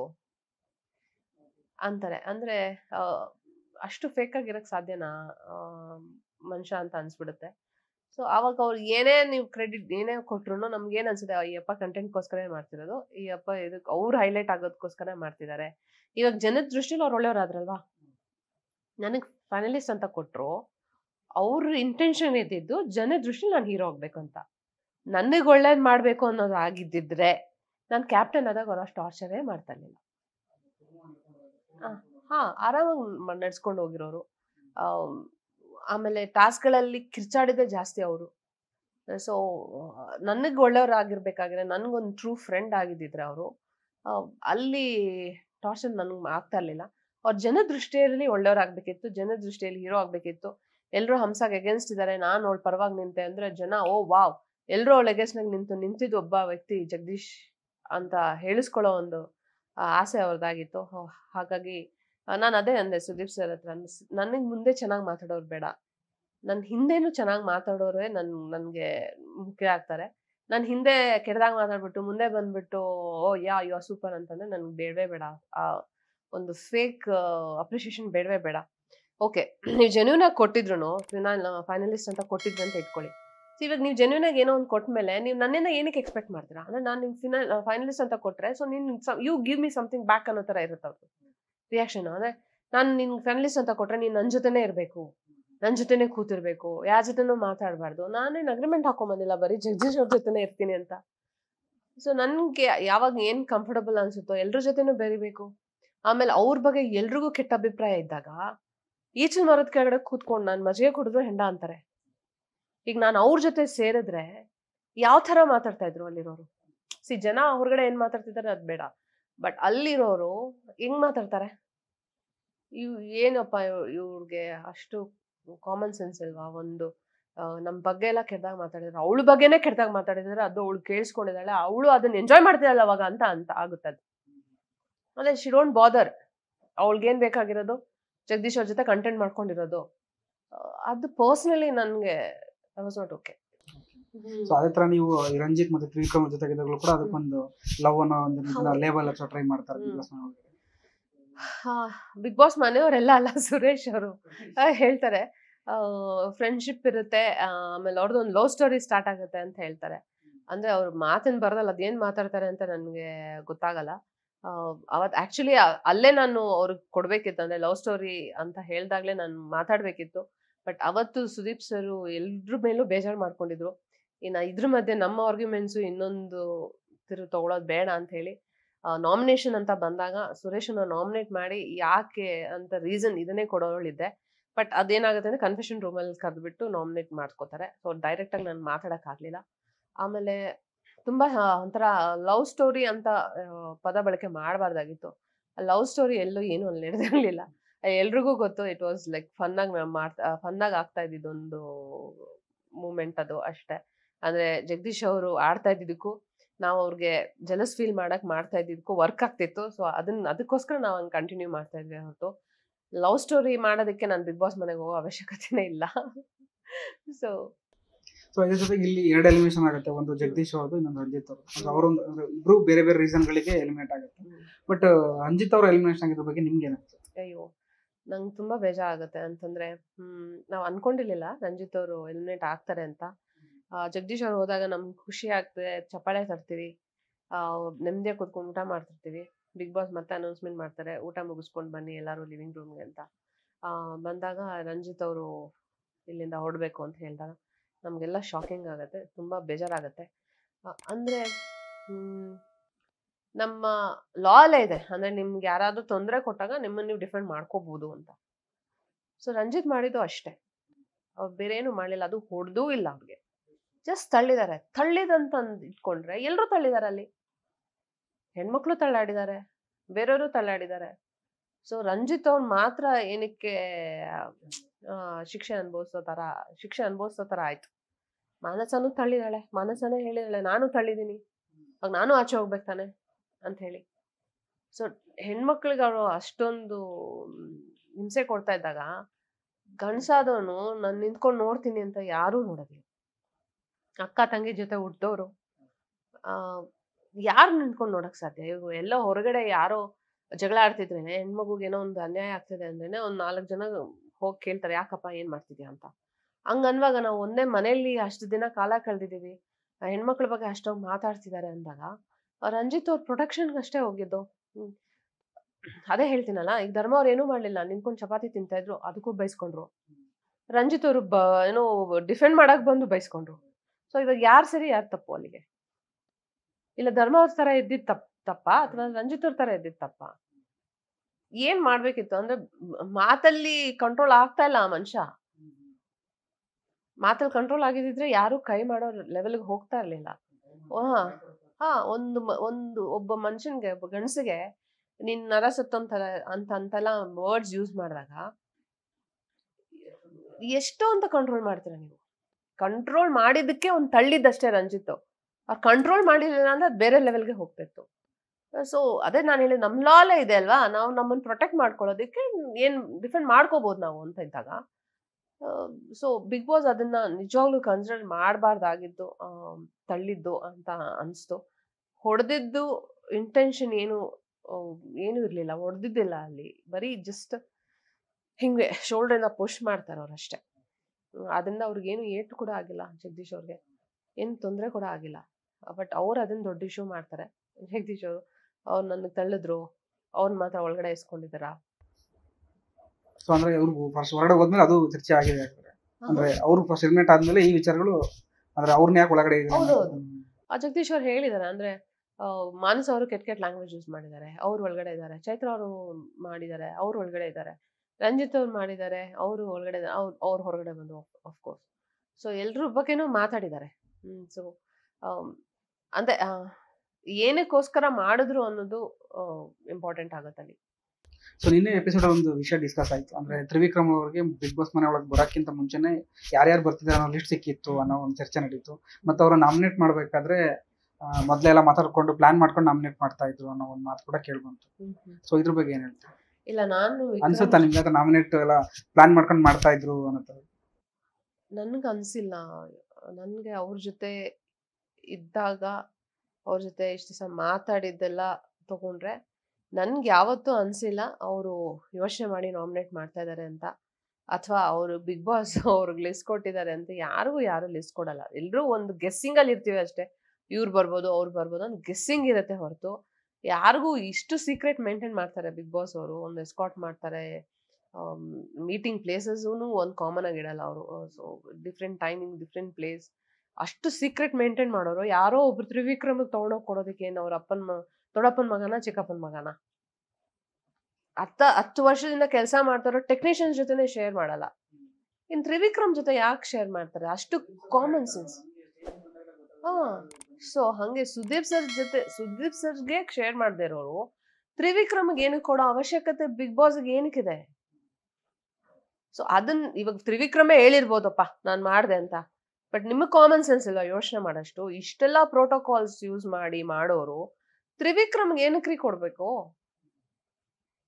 ಏನಕ್ಕೆ ಕೊಡ್ಬೇಕು ಲಿಸ್ಟು ಅವಶ್ಯಕತೆ ಇಲ್ಲ ಬಿಗ್ ಬಾಸ್ಗೆ ತ್ರಿವಿಕ್ರಮ್ನ ಕೊಡೋ ಅಂತ ಅವಶ್ಯಕತೆ ಖಂಡಿತ ಇಲ್ಲ. ಸುದೀಪ್ ಸರ್ಕಿಂತ ಏನು ದೊಡ್ಡವರಲ್ಲ ಅವರು. ಆಮೇಲೆ ಚಾನಲ್ ಅಲ್ಲಿ ಎಷ್ಟು ವರ್ಷದಿಂದ ಕೆಲಸ ಮಾಡ್ತಿರೋ ಟೆಕ್ನಿಷಿಯನ್ಸ್ಗೆ ಗೊತ್ತಿರಲ್ಲ. ಯಾರು ಬರ್ತೀವಿ ಯಾರು ಹೋಗ್ತೀವಿ ಅನ್ನೋದು. ಸೊ ತ್ರಿವಿಕ್ರಮ್ಗೆ ಅಂತ ಅವಶ್ಯಕತೆ ಖಂಡಿತ ಇಲ್ಲ. ಅದು ಯಾವ ಕಾಂಟೆಸ್ಟ್ ಅಲ್ಲಿ ಹೇಳಿದ್ದಾರೆ ಅನ್ನೋದು ನನ್ಗೆ ಗೊತ್ತಿಲ್ಲ. ತ್ರಿವಿಕ್ರಮೇ ಹೇಳಿದಾರ ಅನ್ನೋದು ಗೊತ್ತಿಲ್ಲ ನನಗೆ. ಓಕೆ ಸೊ ಇನ್ನೊಂದು ನಿಮ್ ಪ್ರಕಾರ ಬಿಗ್ ಬಾಸ್ ಮನೆ ಒಳಗಡೆ. ಇರೋದಕ್ಕೆ ಅರ್ಹತೆನೆಲ್ಲ ಆದ್ರೂ ಒಳಗಡೆ ಇದ್ದಾರೆ ಅನ್ನೋ ಒಂದು ಕಂಟೆಸ್ಟೆಂಟ್ ಅಂದ್ರೆ ಯಾರು? ಅರ್ಹತೆ ಇಲ್ಲ ಅನ್ನೋದು ಸುದೀಪ್ ಸರ್ ಹೇಳ್ದಂಗೆ ಬಿಗ್ ಬಾಸ್ ಮನೆಯಲ್ಲಿ ಪ್ರಾಮಾಣಿಕತೆ ಅನ್- ಅನ್ನೋದು ಇರಬೇಕು ಅಂತ ಆ ಒಂದು ವಿಚಾರ ತಗೊಂಡ್ರೆ ಮಂಜೂರ್ ಪ್ರಾಮಾಣಿಕ ಪ್ರಾಮಾಣಿಕವಾಗಿಲ್ಲ. ಒಂಥರ ತಬಲ್ಗೆ ಮಾಡಿಕೊಂಡು ಎತ್ ಕಟ್ಕೊಂಡು ವೀಕ್ ಸ್ಟ್ರಾಂಗ್ ಕಂಟೆಸ್ಟೆಂಟ್ ಅಂತ ಅನಿಸ್ದಾಗ ಅವ್ರನ್ನ ಒಂಥರ ವೀಕ್ ಮಾಡೋ ಒಂದು ಇದು ಮಾಡಿಕೊಂಡು ಆಟ ಆಡ್ತಿದ್ದಾರೆ ಅಂದ್ರೆ ನಿನ್ನ ಕೇಪಬಲ್ ನೀನ್ ಕೇಪಬಲ್ ಇದ್ರೆ ನೀನ್ ಕರೆಕ್ಟಾಗಿ ನ್ಯಾಯವಾಗಿ ನಿಯತ್ತಾಗಿ ಆಡ್ತೀಯ? ಯಾವಾಗ ನಿನಗೆ ನಾನು ಕೇಪಬಲ್ ಅಲ್ಲ ಅಂತ ಅನ್ಸುತ್ತೋ ಆವಾಗಲೇ ನೀ ಈ ಥರದ್ದೆಲ್ಲ ಹುಡ್ಕೋದು ದಾರಿ. ಬೇರೆಯವ್ರ ಬಗ್ಗೆ ಕೆಟ್ಟದಾಗ ಮಾತಾಡೋದಿರ್ಬೋದು ಹಿಂದೆ ಹೋಗಿ ಮಾತಾಡೋದಿರ್ಬೋದು ಡಬಲ್ ಗೇಮ್ಗಳು ಆಡೋದು ಯಾವಾಗ ಶುರುವಾಗುತ್ತೆ ಅಂತಂದ್ರೆ ನಿನಗೆ ನಿನ್ ಮೇಲೆ ಕಾನ್ಫಿಡೆನ್ಸೇ ಇಲ್ಲ. ನಿನ್, ನೀನ್ ಗೆಲ್ತೀಯ ಅನ್ನೋ ನಂಬಿಕೆನೇ ಇಲ್ಲ ಅಂದಾಗ ಒಂದು ಗ್ರೂಪಿಸಮ್ಗಳು ಮಾಡ್ಕೊಂಡು, ಓಡಾಡ್ಕೊಂಡು ಇರ್ತಾರೆ. ಸೊ ಹಾಗಾಗಿ ಅವ್ರಿಗೆ is not fit to be in Bigg Boss house ಅದಾದ್ಮೇಲೆ ಮೋಕ್ಷಿತ ಮೋಕ್ಷಿತಾ ನಾನ್ ನೋಡ್ದಂಗೆ ತ್ರೀ ವೀಕ್ಸ್ ಇಂದ ಏನೂ ಮಾಡಿಲ್ಲ. ನಥಿಂಗ್ ನರ್ಕದಲ್ಲಿದ್ದಾಗ ಕ್ವಾಯ್ಟ್ ಆಗಿದ್ರು. ಸ್ವರ್ಗಕ್ಕೆ ಬಂದಾಗ ಗೌತಮಿ ಅವ್ರ ಫ್ರೆಂಡ್ ಅಂತ ಹೇಳ್ಬಿಟ್ಟು ಅವ್ರ ಜೊತೆನೇ ಕಂಫರ್ಟ್ ಝೋನಲ್ಲೇ ಇದ್ದೋಗಿದ್ದಾರೆ. ಇವಾಗ ಲಾಸ್ಟ್ ನಾನು ಹೊರಗಡೆ ಬಂದ್ಮೇಲೆ ತ್ರಿವಿಕ್ರಮ್ ಜೊತೆ ಜಗಳ ಮಾಡಿದ್ದಾರೆ. ಏನಕ್ಕೆ ಅಂತಂದ್ರೆ ಅವ್ರು ಎಲಿಮಿನೇಷನ್ ಲಾಸ್ಟ್ ಟೂ ಅಲ್ಲಿ ಬಂದು ನಿಲ್ತಾರೆ. ಅಲ್ಲೂ ಅವ್ರು ಅದೇ ಸ್ಟ್ರಾಟಜಿ ಎಲ್ಲರೂ ಯೂಸ್ ಮಾಡೋ ಸ್ಟ್ರಾಟಜಿನ ಯೂಸ್ ಮಾಡ್ತಾರೆ. ಅಂದ್ರೆ ನಾನು ಜಗಳ ಆಡಿದ್ರೆ ಕಾಣಿಸ್ಕೊಂತೀನಿ. ಕಾಣಿಸ್ ಹೈಲೈಟ್ ಆಗ್ತೀನಿ ಅಂತ ಮತ್ತೆ ಅದೇ ಸ್ಟ್ರಾಟಜಿ ಯೂಸ್ ಮಾಡ್ತಾರೆ. ತ್ರಿವಿಕ್ರಮ್ ಯಾವಾಗ ಏನು ಹೇಳಿರೋ ವಿಷಯ ತಗೊಂಡು ಮಂಜು ಅದನ್ನ ಪ್ರವೋಕ್ ಮಾಡಿದ್ರು ಅಥವಾ ಇವಳೇ ಪ್ರವೋಕ್ ಆದ್ರೆ ನನಗೆ ಗೊತ್ತಿಲ್ಲ. ಸೊ ಪ್ರವೋಕ್ ಮಾಡ್ಕೊಂಡಿದ್ದಾರೆ. ಅಂದ್ರೆ ಅವ್ರೊಂಥರ ಲೂಪ್ ಅಲ್ಲಿ ಇದ್ದಾರೆ ಮೋಕ್ಷಿತಾ, ಗೌತಮಿ, ಮಂಜು.